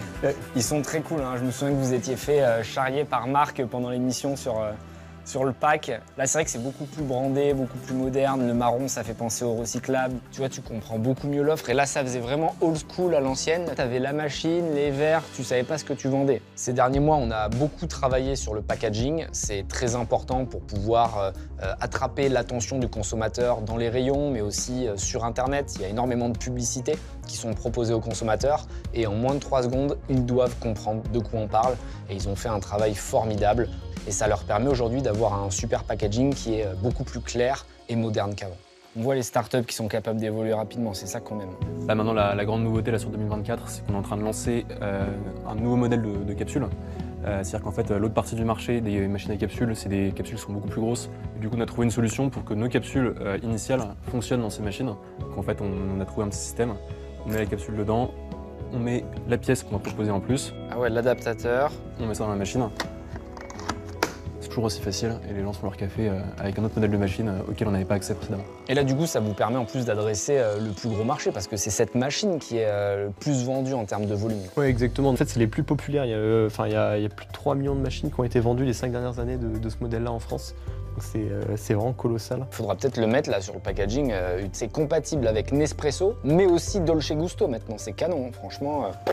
En plus, vous avez des, des super chiffres, hein, bravo. Et en 2023, vous avez fini à combien? Là, globalement, on a fini à peu près à 2,5 millions euh, de chiffre d'affaires pour environ 30 000 euh, coffrets vendus. Les chiffres sont impressionnants. Faire euh, 2 millions 500 000 euros de chiffre d'affaires tout en étant rentable, euh, c'est plus de 15 millions de capsules qui ont été vendues, une par seconde. Honnêtement, c'est un tour de force, c'est un exploit, surtout avec si peu de moyens. Donc c'est des vrais entrepreneurs et ils savent vendre. C'est-à-dire qu'il y a beaucoup de personnes qui se pensent entrepreneurs parce qu'elles ont eu une super idée ou qu'elles ont créé un bon produit. Mais si ça ne se vend pas, ça reste du vent. Eux, ils arrivent à créer des produits, à le marketer et à le vendre. Et prendre l'argent dans la main du consommateur, c'est ce qu'il y a de plus compliqué. 2024, euh, c'est quoi les ambitions? Là, les ambitions, on va viser à peu près les 7 millions de, de chiffre d'affaires. Vous êtes dans un marché qui est euh, colossal. hein. Donc vous avez de quoi vous, vous régaler là. c'est magnifique, j'adore. Je pense que c'est une chance pour moi de faire partie euh, de cette aventure. C'est tout ce que cherche un investisseur quand tu peux conjuguer à la fois le gain financier et l'accompagnement euh, plaisir humain. euh, c'est vraiment, euh, vraiment top. Je suis euh, fier de vous, honnêtement, euh, c'est trop cool de voir ce que vous avez réussi. Et pourtant, vous êtes jeune, hein, c'est incroyable. Vous êtes la preuve qu'avec de la détermination, de la résilience, du travail, c'est possible. Donc euh, bravo d'être cet exemple pour la jeunesse. Les jeunes qui ont envie de se lancer dans l'entrepreneuriat, moi, j'ai envie de leur dire euh, oublie que t'as aucune chance, fonce. Le fait de ne pas savoir, c'est une force. De rien connaître un domaine fait qu'en fait, on voit pas toutes les galères qui vont avec. Donc euh, franchement, le fait d'être un peu naïf, de temps en temps, ça a beaucoup de bon. Si à choisir entre faire la fête et monter sa boîte, bah, je pense que c'est un bon investissement de monter sa boîte. Merci beaucoup en tout cas Anthony pour tout ce que tu nous as apporté depuis un an, tous tes conseils pour structurer l'entreprise, faire des recrutements, notre nouveau rebranding. Donc euh, tous ces bons choix, on les a aussi fait euh, grâce à toi. On va essayer de continuer à te solliciter euh, assez souvent comme on le fait. N'hésitez pas, mon WhatsApp il chauffe hein, avec vous. Franchement, bravo les mecs, hein. franchement c'est Merci canon. beaucoup. Merci Anthony, bon retour. Pour nous, le fait d'être passé sur Qui va être mon associé, ça nous a donné de la confiance et de la crédibilité. Ça a participé au fait de se sentir légitime. Clairement, aujourd'hui, on se définit comme entrepreneur.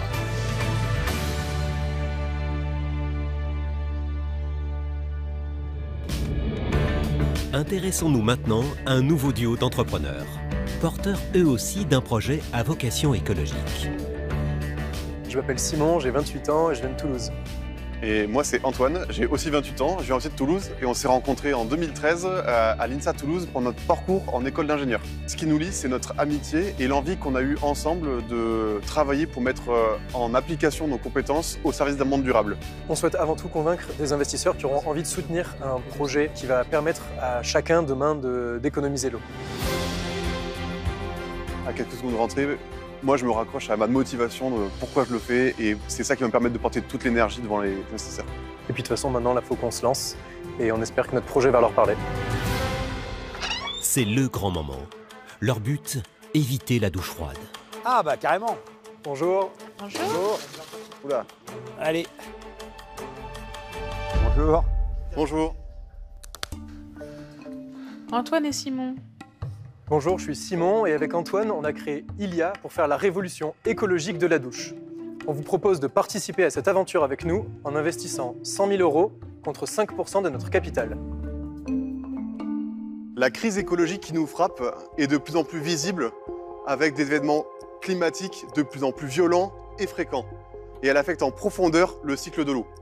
L'eau devient une ressource précieuse qu'il est vital de préserver. Alors face à ce constat, on a tous envie d'agir, mais bien souvent, on ne sait pas par où commencer. Et donc c'est pour rendre cette transition écologique désirable et accessible largement qu'avec Simon, on a décidé d'entreprendre avec notre douche cyclique. Mais alors pourquoi la douche?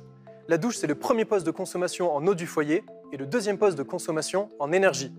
Pour vous donner une idée, une douche moyenne en France, c'est 80 litres, l'équivalent de ce qu'il y a dans ce chariot derrière nous. C'est quand on prend Moyenne. conscience de ce chiffre, 80 litres d'eau, qu'on commence à réduire notre consommation. La douche cyclique, une fois que vous êtes dedans, vous activez son mode cyclique et vous allez avoir de l'eau qui, au lieu d'être évacuée, va être récupérée grâce à une pompe, filtrée, stérilisée, réchauffée et renvoyée à l'utilisateur. C'est donc 5 litres d'eau qui vont être réutilisés autant de fois que nécessaire. Plus besoin de faire attention à la montre pendant qu'on se douche. On va pouvoir passer des heures sous la douche grâce à la douche cyclique. C'est jusqu'à 70% d'économie d'eau et d'énergie par rapport à une douche traditionnelle. Et ça va représenter par an et par personne une économie de 250 euros. Et donc pour une famille de 4 personnes, 1000 euros d'économie par an. Alors on serait ravis de vous embarquer avec nous dans l'aventure si vous aussi, vous pensez qu'il y a un monde nouveau à bâtir. Merci. On va peut-être retirer les... euh, Ouais, ça fait moins hôpital psychiatrique là. hein. Ok, bon, déjà, ils n'étaient pas à poil sous le peignoir. Alors, donc la douche cyclique, il y a 5 litres d'eau dedans, elle se remplit et ensuite on, les- on la- on se met à l'utiliser. Mais où va la. Et comment ça s'installe La crasse Bah, C'est quoi À quoi ça ressemble Non, mais surtout, on peut l'installer facile, parce que pour le coup, la question de la facilité, là, donc, euh, on a l'impression qu'il faut l'avoir fait dès le départ, qu'on peut, si on a déjà... Ah, si on a déjà sa douche, ça marche pas. Ça marche pas. Alors, effectivement, dans cette première version, on installe des douches cycliques que dans des cas de logement neuf ou de rénovation où on refait la douche. Puisque ce qu'on vend, c'est la colonne qu'on voit derrière qui contient tout le système et la bombe qui va sous le receveur. Donc, il faut pouvoir récupérer l'eau sous le receveur. Donc l'installation, c'est pas beaucoup plus compliqué à poser qu'une douche normale dans le cadre de travaux. La différence principale, c'est que dans la même colonne, on a en fait deux systèmes de douche. Le système classique de la douche, où l'eau arrive du réseau, elle nous coule dessus, elle part à l'égout pour toute la phase d'hygiène. Et après, on peut activer un mode de recyclage par le simple appui d'un bouton. Et là, on vient passer en circuit fermé. Sur et le donc là, voilà, sur toute l'eau de détente, de confort, etc. Là, l'eau est récupérée, filtrée, Ah. désinfectée avec de l'UV, maintenant température est renvoyée. Quand vous dites on va utiliser l'eau euh, et on va consommer beaucoup moins, c'est vrai, mais c'est sur une toute petite partie de la douche, qui c'est la partie de la douche qu'on prend une fois qu'on est propre. Moi, il se trouve que quand je suis propre, j'arrête la douche, hein, euh, je vais pas rester dessous. Bon, il y a des gens, apparemment, ils y restent. Très bien, mais enfin, c'est un usage marginal. Bah, il va nous le dire. Sur les 80 litres, c'est quoi la part dont, par- dont parle Marc? Si on part du principe qu'on va passer 3 minutes sur la phase d'hygiène, on va du coup consommer à peu près une trentaine de litres sur cette phase-là, même peut-être un peu moins. Et ensuite, les 7 minutes suivantes, voire beaucoup plus, parce que puisque c'est une douche cyclique, on peut y passer plus de temps, on ne consommera que 5 litres d'eau. Et ça coûterait combien une douche comme ça Juste qu'on a un ordre d'idée? Le prix pour l'utilisateur, c'est 3000 euros TTC. Quand même. Quand même. Ah oui, quand même, ouais. Ça, ça se compare à certaines cabines de, de confort, d'hydromassage, etc., qui sont dans ces ordres de prix-là. Et nous, notre sujet, c'est de travailler avec euh, ben, notamment les pouvoirs publics pour voir comment on peut avoir des mécanismes d'aide qui existent déjà pour les professionnels. Les hôtels, par les agences de l'eau, tout ça peuvent être aidés sur l'achat de douches cycliques. Notre travail, c'est que ce soit aussi possible comme des panneaux solaires ou des, des pompes à chaleur. C'est combien la marge sur euh, l'achat, donc 3000 euros? Aujourd'hui, on marge uniquement à 40% parce que c'est aussi un produit qui est en lancement, qu'on produit en toute petite série. Est-ce qu'on Euh, pourrait l'améliorer après, plus tard? L'idée, c'est effectivement de l'améliorer, une fois qu'on fera du volume, d'atteindre 70% de marge. Qu'est-ce que vous prévoyez en 2024-2025 En termes de vente, Ouais. ce sera une cinquantaine de douches, donc encore une petite euh, série en 2024, 400 douches en 2025, euh, et on passera sur plusieurs milliers de douches à partir de 2026. Vous avez fait ça à combien et avec quels moyens et en combien de temps? Alors aujourd'hui, on est quatre dans l'entreprise. Euh, Quatre, ok. Au capital on- Au capital, on est six mois et moi, les deux cofondateurs. Il y en a aussi dix proches qui, sont, qui ont investi en Love Money. Ok. Euh, et en combien de temps on a entrepris après notre diplôme d'ingénieur Et donc ça fait quatre ans maintenant qu'on a- Quatre ans. qu'on crée notre entreprise. Et donc avec combien d'argent ça représente? Alors, jusqu'aujourd'hui, on a mobilisé 750 000 euros, à la fois d'apports euh, personnels, mais aussi de subventions, de dotations de concours, Oui, de parce que prêts c'était d'honneur étonnant et que vous arriviez jusque-là avec si peu de moyens. Et c'est c'est votre première levée? Alors, comme disait Antoine, on a déjà fait une levée auprès de proches, familles et amis en Love Money, mais c'est effectivement la première fois qu'on lève des fonds auprès de Business Angel. Ok.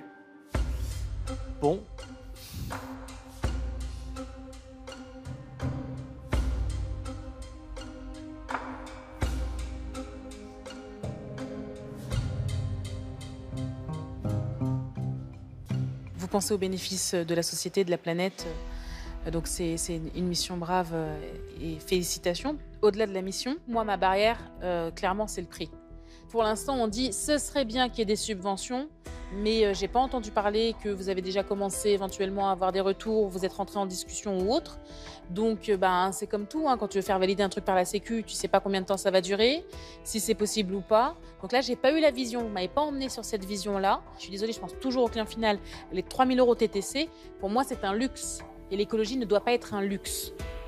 Derrière, je vois pas non plus quoi vous apporter pour vous aider effectivement à pénétrer les marchés ou les portes ou à améliorer euh, l'industrialisation du produit. Donc c'est pour toutes ces raisons-là que moi je vais pas pouvoir y aller. Mais je vous souhaite plein de bonnes choses parce que vous avez vraiment une belle mission. Merci.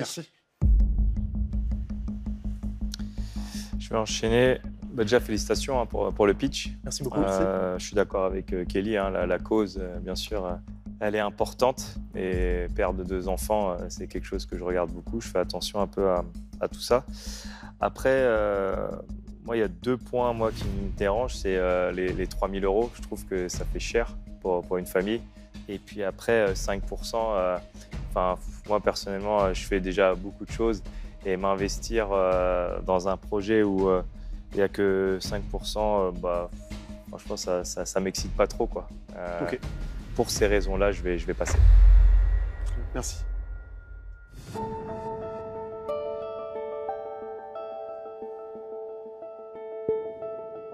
Bravo, parce que ce que vous avez fait, fallait le faire.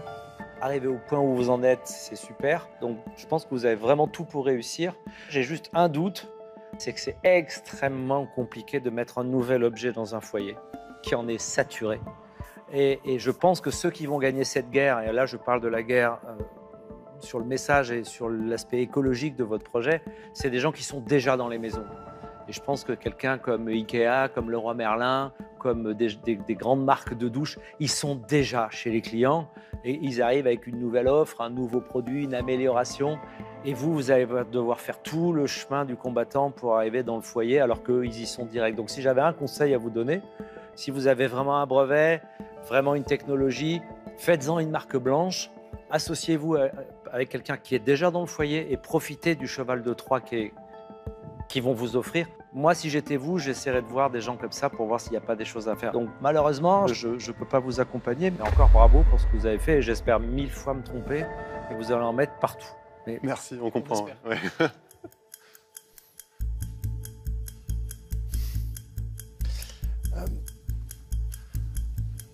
Bravo pour l'industrialisation, le produit a l'air plutôt, euh, plutôt bien réussi. Sur la proposition de valeur bon, qui, est claire, euh, je, pense que à cause du prix, ça va être difficile. Et à mon avis, vous devriez prendre le problème autrement. Plutôt que de se dire, on doit absolument avoir des aides, des subventions pour réussir à financer notre business, ce qui rajoute un risque de régulation qui est énorme, parce qu'on se dit, bon, bah, si du jour au lendemain, la loi elle change, elle n'est pas là, le business, il passe, euh, enfin, il va à la poubelle, en gros, donc on se rajoute un risque externe assez dangereux. Je pense qu'il faut se repositionner en utilisant votre technologie plutôt sur euh, les camping-cars, le camping, les endroits où vraiment le fait de recycler a certes un avantage écologique, mais il permet aussi de répondre à un vrai problème qui fait que les gens seront peut-être prêts à mettre de l'argent pour pouvoir prendre des vraies douches, etc., parce que sinon ils ne le pourraient pas. Et vous pouvez donc amorcer un petit peu la pompe de cette manière pour pouvoir ensuite proposer un prix plus faible et là arriver dans les foyers où les gens pourraient faire cet investissement euh, pour l'écologie. Mais là, c'est vrai qu'à 3000 euros, je pense que ça va être dur. Ça va être dur aussi pour les hôtels parce que certes, ils veulent montrer qu'ils font des choses bien, mais ça coûte très cher. Et donc, je vous invite à revoir un petit peu la stratégie en utilisant votre technologie sur des endroits où ça va pas juste être de l'écologie. Et, et- donc, c'est pour ces raisons-là qu'en l'état, je ne vais pas vous accompagner.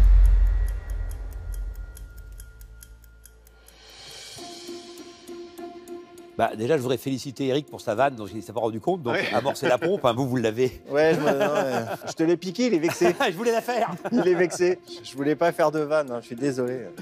Donc, sur la mission, on comprend bien effectivement dans ce que vous voulez faire, donc euh, euh, et euh, un monde nouveau à bâtir. Donc moi je dirais plutôt donc euh, effectivement passer d'un monde d'abondance donc à un monde non pas de restriction mais de répartition. Et donc cette mission, elle est formidable. Après, il faut savoir qu'en 2026, en France, le Green Score hôtelier sera obligatoire. Dans ce Green Score hôtelier, l'eau va peser pour une partie donc conséquente. Et quand un hôtelier va passer de la lettre C à la lettre B, peut-être que votre douche sera une réponse. Et à ce moment-là, franchir une catégorie, ce sera une création de valeur. Parce que c'est pas le tout de dire on fait des économies. L'hôtelier, au départ, il investit 3000, il va amortir sur 10 ans, sauf s'il peut vendre sa chambre plus cher, sauf s'il peut avoir plus de clients, parce qu'effectivement, votre système est plébiscité par le marché.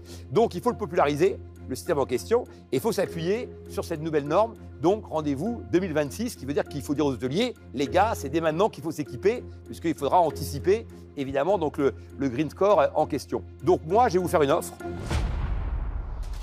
Ceci dit, donc, euh, euh, un bonheur n'arrivant jamais seul, je vais quand même effectivement donc euh, négocier un peu votre valo parce qu'il y, a- y a toujours un client fondateur. Demain, si on a un centre de Thalasso qui peut démontrer qu'il économise 30% d'eau et que ses clients sont plus contents, si on a un hôtelier qui en fait une valeur ajoutée, alors derrière, effectivement, donc on va trouver tous les clients qu'on voudra. Mais il nous faut le premier. Et ce premier va être très compliqué. Donc, puisque je vais devoir me battre à vos côtés pour trouver le premier client en question, donc je vous propose 100 000 euros, mais pour 10% du capital et non pas 5% comme vous l'avez proposé au début. Merci pour cette offre.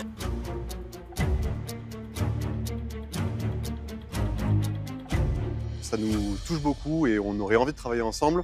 Nous, on a quand même euh, l'impression que la prise de risque que vous faites en investissant, elle est amoindrie par le fait qu'on a beaucoup de gens qui nous contactent, notamment professionnels. Donc commercialement, ça ne veut pas dire que ce ne sera pas compliqué, il y aura des travaux à faire, mais on est plus rassuré. Notre défi, c'est un défi industriel d'arriver à proposer un produit à un prix qui soit plus abordable, mais on pense que la prise de risque, elle est moins commerciale. Et au vu de tous les coûts qu'on a engagés, du brevet, de la R&D qu'on a fait, on a envie de faire une contre-proposition qu'on espère qui vous plaira, aussi avec un peu plus d'ambition euh, pour, euh, pour se dire, euh, voilà, faut qu'on se donne les moyens d'aller euh, à réduire les coûts notamment. Et du coup, on vous propose d'investir 150 000 euros contre 10% du capital. D'accord. Donc 150 000 euros contre 10% du capital, alors que Jean-Pierre avait proposé 100 000 euros contre 10%. Ah, c'est c'est bien vu, c'est bien, c'est bien joué. Bah, à la fois c'est bien joué, en même temps effectivement donc on est là pour euh, on est là pour sauver le monde, c'est ça? Alors je vais dire oui. Allez. Allez.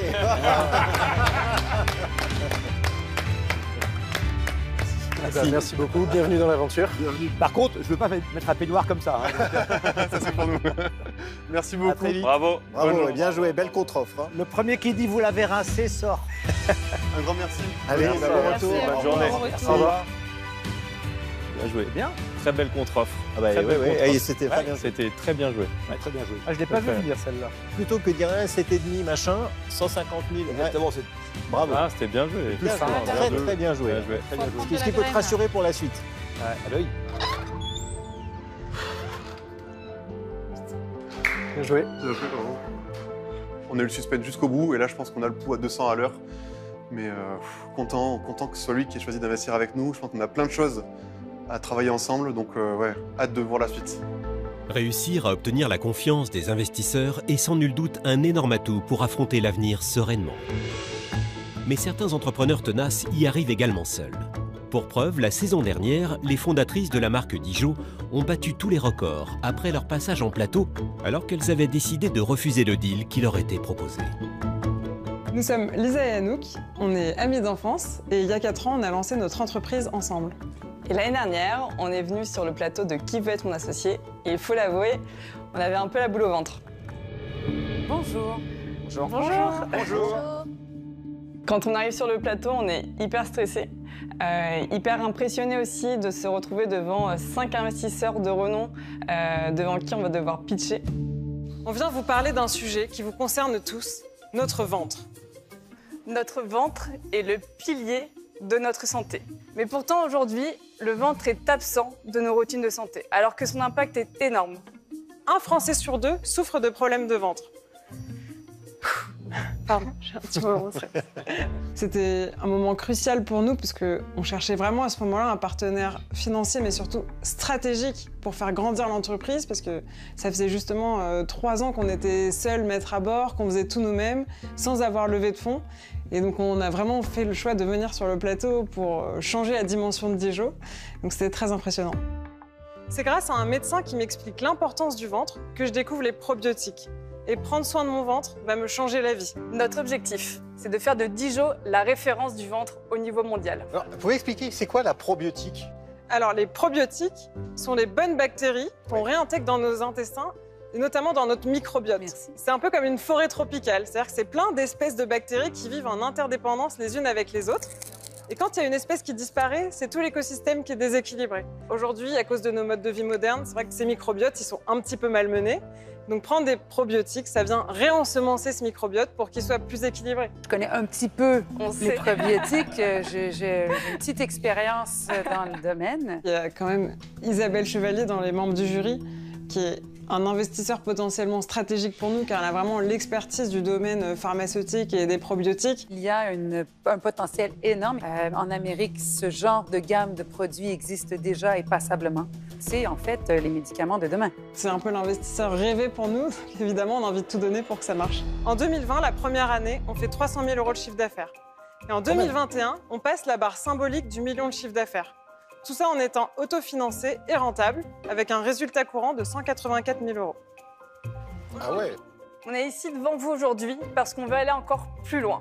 Mais pour y arriver, on recherche un partenaire pour nous aider, qui nous partage son expérience et son réseau. On recherche 250 000 euros contre 8% de notre capital. Merci de nous avoir écoutés. C'est le moment de nous montrer ce que vous avez dans le ventre. Les investisseurs euh, prennent leurs notes. Nous, on est debout face à eux, il y a un silence. On est vraiment dans cet état un petit peu fébrile, quoi. On attend le verdict. Et là, on se rend compte que le match commence, en fait. Alors, euh, je pense que vous avez là quelque chose qui est très bien, euh, mais moi, euh, ce n'est pas quelque chose que je peux exporter euh, chez nous pour le moment. Alors, pour cette raison, je vais passer. Merci. Merci. Isabelle, quand elle nous suit pas, c'est le coup dur, puisque c'était notre objectif hein, euh, de l'avoir. Moi, je sais que psychologiquement, je suis pas bien, quoi. Le pitch, évidemment, donc, est euh, extrêmement clair. Vous portez donc très bien euh, le projet. Maintenant, on a le sentiment que l'argent que vous cherchez, c'est pas grand-chose au regard de votre capacité à autofinancer euh, la suite des événements. Bah, on cherche avant tout un partenaire stratégique Voilà. qui nous aide. Je me sens pas être ce partenaire-là, parce que je connais pas du tout le, euh, le marché sur, sur lequel vous êtes. Donc, c'est la raison pour laquelle je vais passer. Merci beaucoup. Je trouve l'histoire intéressante, hein. mais en réalité, vous n'avez pas besoin d'investisseurs, vous avez besoin de mentors, vous avez besoin de conseillers et qui vont vous accompagner dans l'aventure. Mais je suis pas du tout le mieux placé pour pouvoir vous accompagner dans cette aventure et donc je, je passe de mon côté. C'est le troisième nom quand même. Oui. Euh, donc euh, bon là on commence à se dire bon c'est chaud. On est quand même venu chercher un partenaire, on a besoin d'être épaulé pour nous aider à faire grandir l'entreprise. Donc là euh, on commence, on a peur quoi qu'on ne trouve pas cette personne. Moi, à ce moment-là, j'y crois plus et je me dis, euh, en fait, euh, c'est c'est fini, quoi. On a, on a raté, on a échoué. Alors, je trouve que votre approche, elle est extrêmement euh, pragmatique et euh, entrepreneuriale. Donc, euh, moi, je vous propose de vous apporter 250 000 euros, mais pour 10 du capital. Je vais vous faire la même proposition que Delphine. 250 000 euros pour 10 Là déjà forcément une, une sorte de soulagement. On est très heureuse et très honorée euh, d'avoir de tels entrepreneurs qui sont prêts à nous suivre dans l'aventure. Évidemment, vous pouvez prendre le temps euh, pour réfléchir. Voilà, la balle est dans votre camp. Merci. Merci. Après, c'est pas du tout le scénario imaginé. C'est pas les entrepreneurs qu'on avait imaginés. Euh, ils s'alignent pas sur l'offre. Donc là, vraiment, c'est un peu le Big Bang dans notre tête. J'ai j'ai- du mal à savoir entre les deux lequel va nous apporter le plus. C'est hyper dur. Franchement, je pensais pas du tout être dans cette situation. On a vraiment peur de prendre la mauvaise décision, de passer à côté de l'opportunité de notre vie. Alors, vous avez bien réfléchi?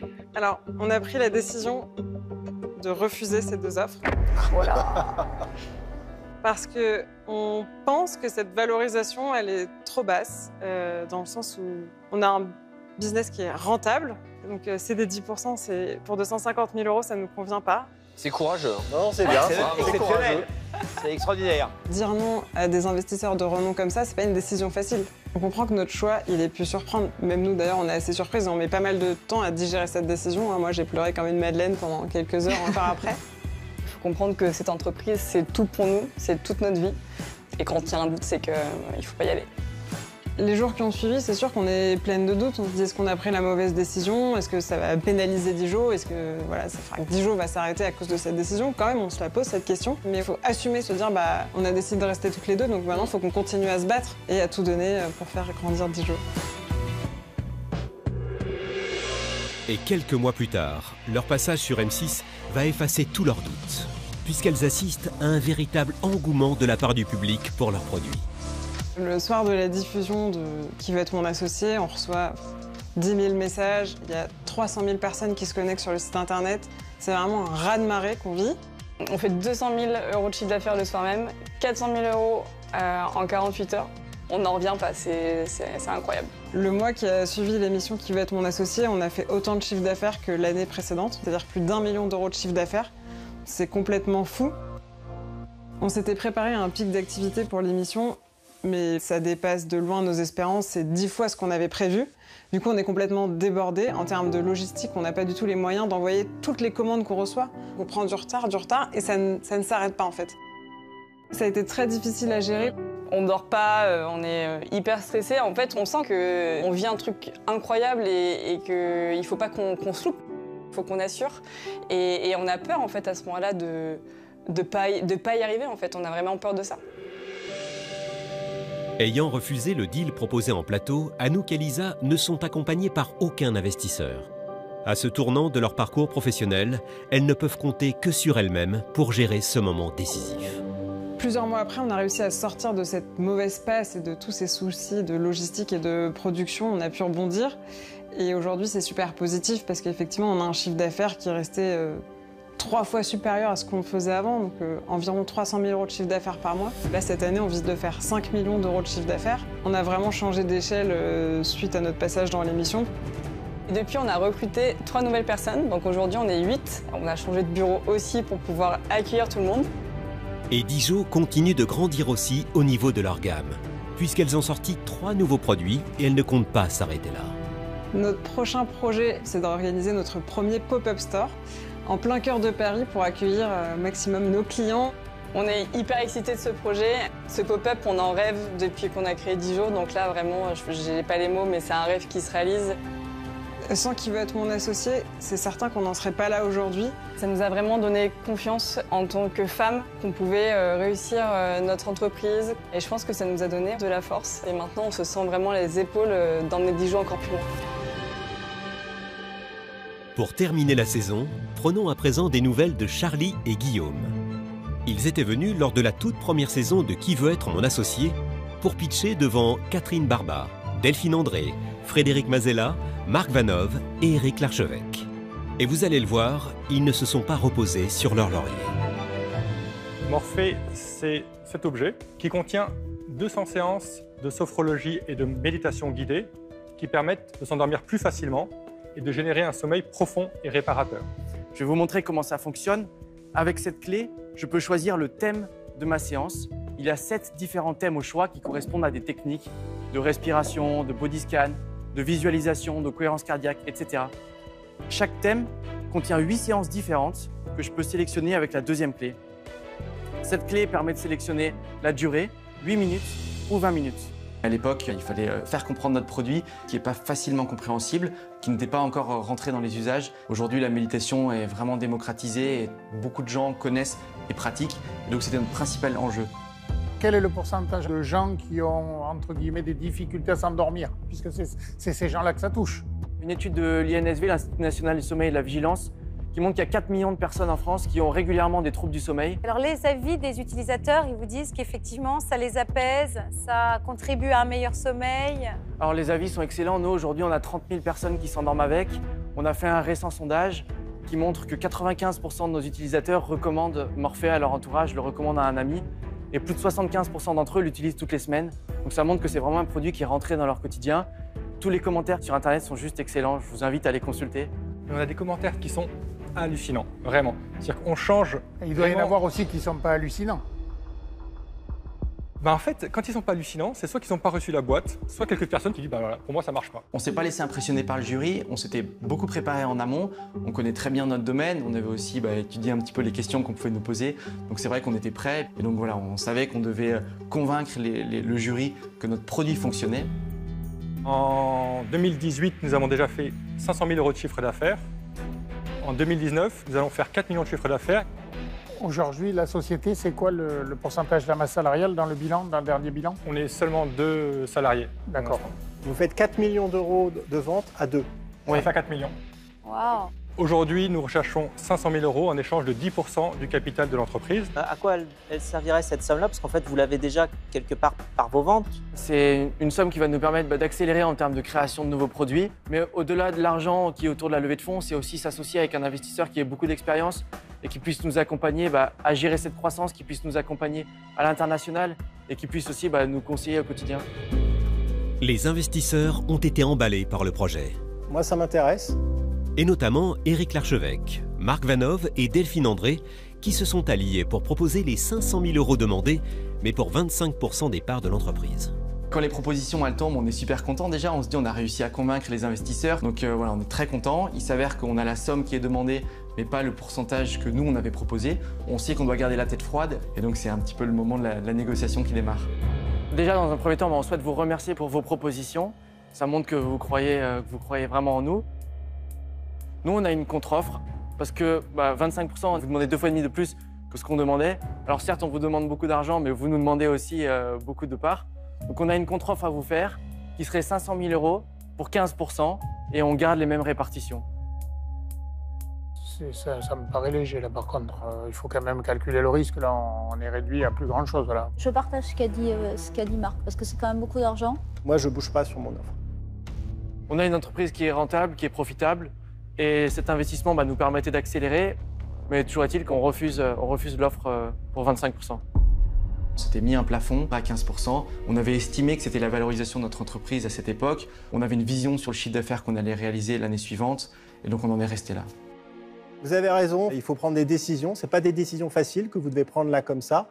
Vous êtes droit dans vos bottes et on peut que vous féliciter euh, sur tout ce que vous avez fait. Merci. Ça fait bizarre de refuser euh, une, somme, une telle somme, 500 000 euros. Puis on réalise, on commence tout juste à réaliser un petit peu ce qui vient de se passer. Charlie et Guillaume ont eu quelques mois pour se remettre de leurs émotions, jusqu'au jour tant attendu de la diffusion de l'émission sur M6. Au moment de la diffusion, on avait tout fait pour que le site ne plante pas et poum, à l'heure où on a commencé, on a vu en direct les stats du site. On est monté jusqu'à 40 000 connexions. Le site, il a planté. On avait tout fait, mais ça a quand même planté. Juste avant l'émission, on était à peu près à 80 ventes par semaine et on voit que la semaine qui a suivi l'émission, on était dans les 450 à 500 ventes par semaine. Pendant deux mois, juste après la diffusion de l'émission, le chiffre d'affaires a été multiplié par 10. Donc voilà, on a quand même évolué très rapidement. Le passage nous a permis de sortir un petit peu de l'ombre et de passer de ce projet à une vraie entreprise. Donc l'équipe grandit, on, on embauche une personne par mois et donc on arrive à 25 personnes assez rapidement au bout de deux ans. On prend des nouveaux locaux à Aix-en-Provence. Aujourd'hui, on est à peu près à plus de 10 millions de chiffres d'affaires. Donc c'est une super fierté pour nous. Aujourd'hui en France, on a 800 000 utilisateurs et c'est vrai que l'un des objectifs de Morphée, de notre compagnie, c'est vraiment d'améliorer le bien-être euh, des utilisateurs et de démocratiser la méditation et on y arrive en fait. Aujourd'hui, on a une gamme qui s'est élargie, on a 5 produits, 3 pour les adultes, 2 pour les enfants et on va aussi bien du sommeil à la gestion du stress, la gestion des émotions. Et leurs produits sont vendus dans plus de 1500 points de vente partout en France. Aujourd'hui, Charlie a rendez-vous dans une de leurs enseignes partenaires pour vérifier la mise en place de leur tout nouveau produit, Mood. Ça fonctionne très bien, on a eu un très bon démarrage euh, de, de Mood. Qu'est-ce qui plaît le plus dans le, dans le, dans le produit aujourd'hui? Les clients sont intéressés en fait par le côté euh, bois, joli, esthétique en fait. Le fait aussi qu'il y ait 600 séances, ça change aussi la donne. Les produits Morphée fonctionnent très bien, ils sont classés dans les meilleures ventes du magasin. Et le Mood se démarque puisque du coup il, il passe au numéro 1 en fait, des ventes euh, des Morphée. Mais les nouveautés ne s'arrêtent pas là. Pour notre dernier produit, on a collaboré avec une grande marque de l'édition française et l'objectif c'est d'aider les enfants à gérer leurs émotions. Une petite entreprise, d'arriver à collaborer comme ça avec un géant, forcément c'est très chouette pour nous. Ah, Depuis notre passage, on a décidé de passer les frontières et on vend aujourd'hui dans différents endroits. Ça peut aller euh, des États-Unis au Canada, euh, l'Espagne, l'Angleterre, mais on a aussi euh, Singapour, la Corée du Sud ou même l'Australie. On est présent dans 17 pays. Donc en fait, le passage dans l'émission déjà nous a donné hyper confiance dans notre produit. Et puis ça a été une sorte de vitrine immense, c'est-à-dire qu'on a gagné en notoriété, ça nous a vraiment boosté et donné envie de continuer dans l'aventure. Personnellement, c'est une super expérience. Ça nous montre que bah, quand on y croit, c'est possible. Quand on a commencé le projet, on était colocataires tous les deux. On n'avait aucune idée de ce que ça allait donner. Ah mais aujourd'hui, je suis trop content. Je pense que la moralité, c'est de se dire bah, qu'il faut y croire et puis qu'il faut oser et puis de travailler aussi parce qu'il y a une charge de travail qui est importante et puis de prendre du plaisir et, et de bien s'entourer et je pense que c'est ce qu'on a réussi à faire avec du recul. Si on a un message à faire passer aux investisseurs, c'est que notre porte est toujours ouverte, on est toujours à l'écoute d'opportunités. Donc voilà, peut-être que cette fois-ci, on trouvera un, un terrain d'entente. Pour finir, merci à tous les entrepreneurs pour leur confiance et aux investisseurs pour leur engagement. Qui veut être mon associé vous remercie de votre fidélité et vous dit à très bientôt.